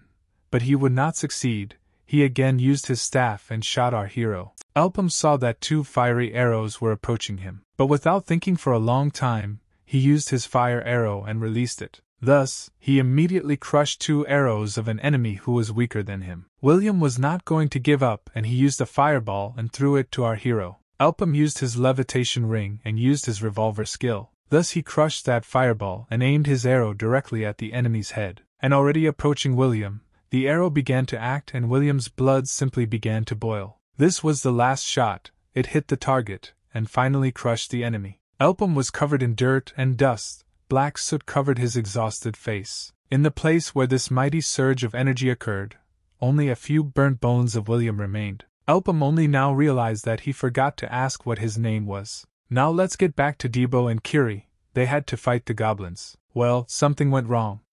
They hid behind a tree and Debo was obviously not okay. It was obviously very difficult for him, and Kiri supported him and thought that everything had not gone according to plan. But in order to understand what happened, you need to look at what happened before. Debo eliminated his opponents one by one and counted them 16, 17. Meanwhile, Kiri, fighting with one monster, did not understand how Debo could defeat these monsters so easily. Elpham shouted that it was as easy as shelling pears, he saw right through their fighting style. Debo was very quick to dodge and attack his opponents from behind, and finally, he was about to crush 18 monsters in a row. Well, suddenly there was some kind of surge of energy, and Debo just fell to the ground. Then an explosion occurred right at the place where our hero's assistant fell. The orc was saved. As it turned out, Debo was knocked down by the same supreme orc who was on the throne. He used a fireball. Kiri didn't understand how this monster could use this spell. For her, it was something completely new, a monster that was able to control objects. They couldn't even think about that. Things didn't go as they planned. They can only hide and wait for Elpham to return. She hoped that he was still alive. And then the Orc discovered them and tried to grab them. But the girl managed to react and jumped away, saving Debo. She quickly tried to run away. It was hard for her to drag the wounded Debo over herself. But she was not going to leave him. Meanwhile, the orcs were trying to catch these guys. Suddenly, an orc jumped out right in front of the girl and swung his axe to kill her. Kiri quickly threw Debo into the air with all her strength and quickly cut off her opponent's head. Then she quickly grabbed Debo before he fell to the ground and said that she was such a pain in the ass, she could deal with them if they attacked alone. Suddenly, a fireball fell right in her path, blocking her path further. This was done by the same orc magician who was also changing. The girl thought that if this monster had not existed, it would have been easier, and he again used his fireball to crush the girl and Debo. She tried her best to evade and tried to run as quickly as possible to avoid the attack. An explosion occurred, the demonic creature was already smiling, thinking that this was the end. Well, when you started to disperse, he noticed that Debo was standing there, who had not died. Kiri was very surprised when she noticed that Debo was standing, he had just been unconscious. There was nothing on his face, just a cold look into nowhere. He rushed at his opponent incredibly quickly. He was very serious. The chief orc shouted in his own language, and all his other subjects rushed forward. Debo ran straight towards them and began to chop these creatures into pieces. It was as if he had recharged while he was out. He seemed to become even faster. The orc leader once again used his fireball power to destroy the enemy. Debo dodged that attack with lightning speed. Kiri did not understand how this could ever happen. Debo made an incredibly high jump and rushed straight onto the head of the main boss. Kiri thought that he only has one circle. How can he be so strong? When the orc noticed that he was about to be destroyed, he immediately at that moment used the power of fire and attacked Debo. From such a crushing blow, Debo could not keep his balance. His clothes simply tore and he began to fall. Kiri ran up to him to understand him. Because the orc cast this spell very close to his face, he was wounded. His jaw was half open, he felt a very strong pain inside him, his face was disfigured. He again used the power of the fireball to crush his opponent. Debo was in a lot of pain, but he told Kiri, who was standing right in front of him, to step aside and he would take over. The orc attacked again, and it seemed that Debo would no longer survive such an attack. But it was our hero who came to help and used his fiery arrow. The orc did not expect such a turn of events. Now the last thing he saw was the revolver skill. Elpham simply crushed that orc leader on his own throne, tearing him into pieces. Exhausted Kiri looked in surprise. What just happened? Elpham was very exhausted. It was not easy for him to stand. Then he said that it looked like he was not late. Meanwhile, on the other side of the portal, the same red haired man was sitting and yawning loudly. Four days have passed since then, and there is no sign of anyone. At first he was glad that he could make money so easily, but now it was starting to get boring. Still, he doesn't really like it, he won't take on protection missions anymore. Suddenly he heard some noise. The portal began to collapse. Well, it just began to crack and fall. The red haired man was shocked by what happened. Did the portal collapse? This man's assistant turned to the boss and told him to call the bishop here. This man's name was Kite. By the way, the man was called the last adventurer. The red haired man asked him what was happening and let him report the situation. Kite said that some returned alive. The gate began to disappear. And finally, that man saw the half dead Dibla, Elpham, and Kiri just fall out at the gate. They were all unconscious, and finally, after some time, Elpham opened his eyes. Looking around, he noticed that he was lying on the bed. He quickly got up. A red haired man was sitting in front of him and said that he had finally come to his senses. Elpham asked where he was. The red haired man told Elpham to answer him honestly now. Of all the Gapor merchants who entered there, only three of them survived. He was interested in what happened at those gates. Elpham asked, Are there really only the three of them left? A healer approached him and began to use her power to heal our hero.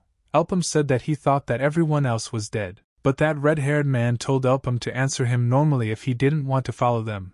Elpham said that there was a demon there. Well, he asked for a pen made of paper so that he could try to draw it. Elpham tried to explain to him. He said that he did not know what it was called. And after a while, that man shouted that there was no point in this at all. Then they gathered near the tent to talk about what happened, a whole hundred people. Moreover, they all represented merchant guilds. Was it a simple red gate?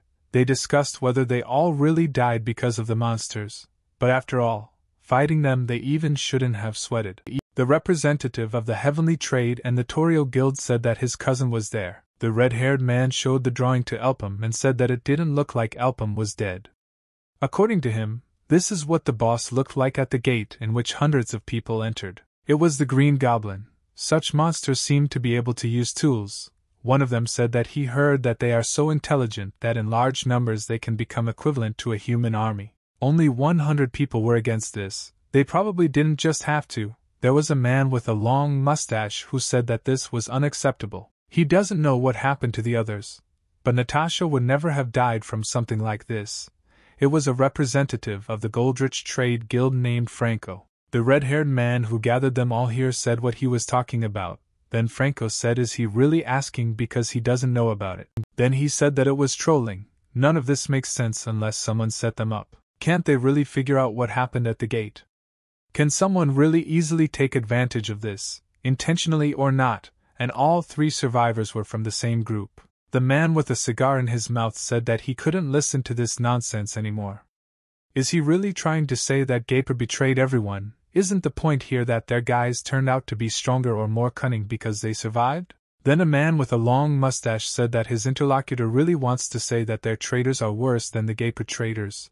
Then this man with a cigar said that he does not want to say this, he is simply stating a fact. But his interlocutor said that if Gapor had so many talents, they would not have been pushed into the very back. The man with a cigar said that they were just beginners, figuring out the career ladder.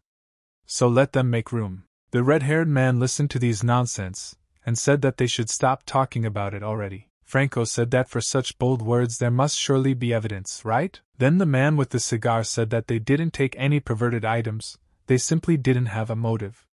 Doesn't he understand? Elpham and his assistants said that he would go and thank them for their help.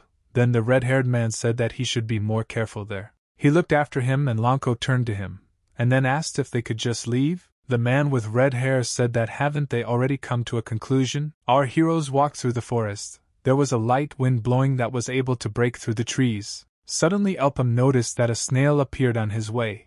It was somehow unusual. Kiri also noticed this snail and said that he really followed them. This snail looked quite harmless. There was a flower on its shell. Now let's move back to the time where the battle took place. Kiri turned to someone and asked why he was in the bag, they had already dealt with the followers of the Dark Mage, as well as the Green Goblin and his minions, now they just had to throw out all the items and hurt each other a little, right? Elpham looked at his interlocutor. Meanwhile, in his bag were the feathers of that magician. This is exactly what they need to do kill the boss and get rid of these items.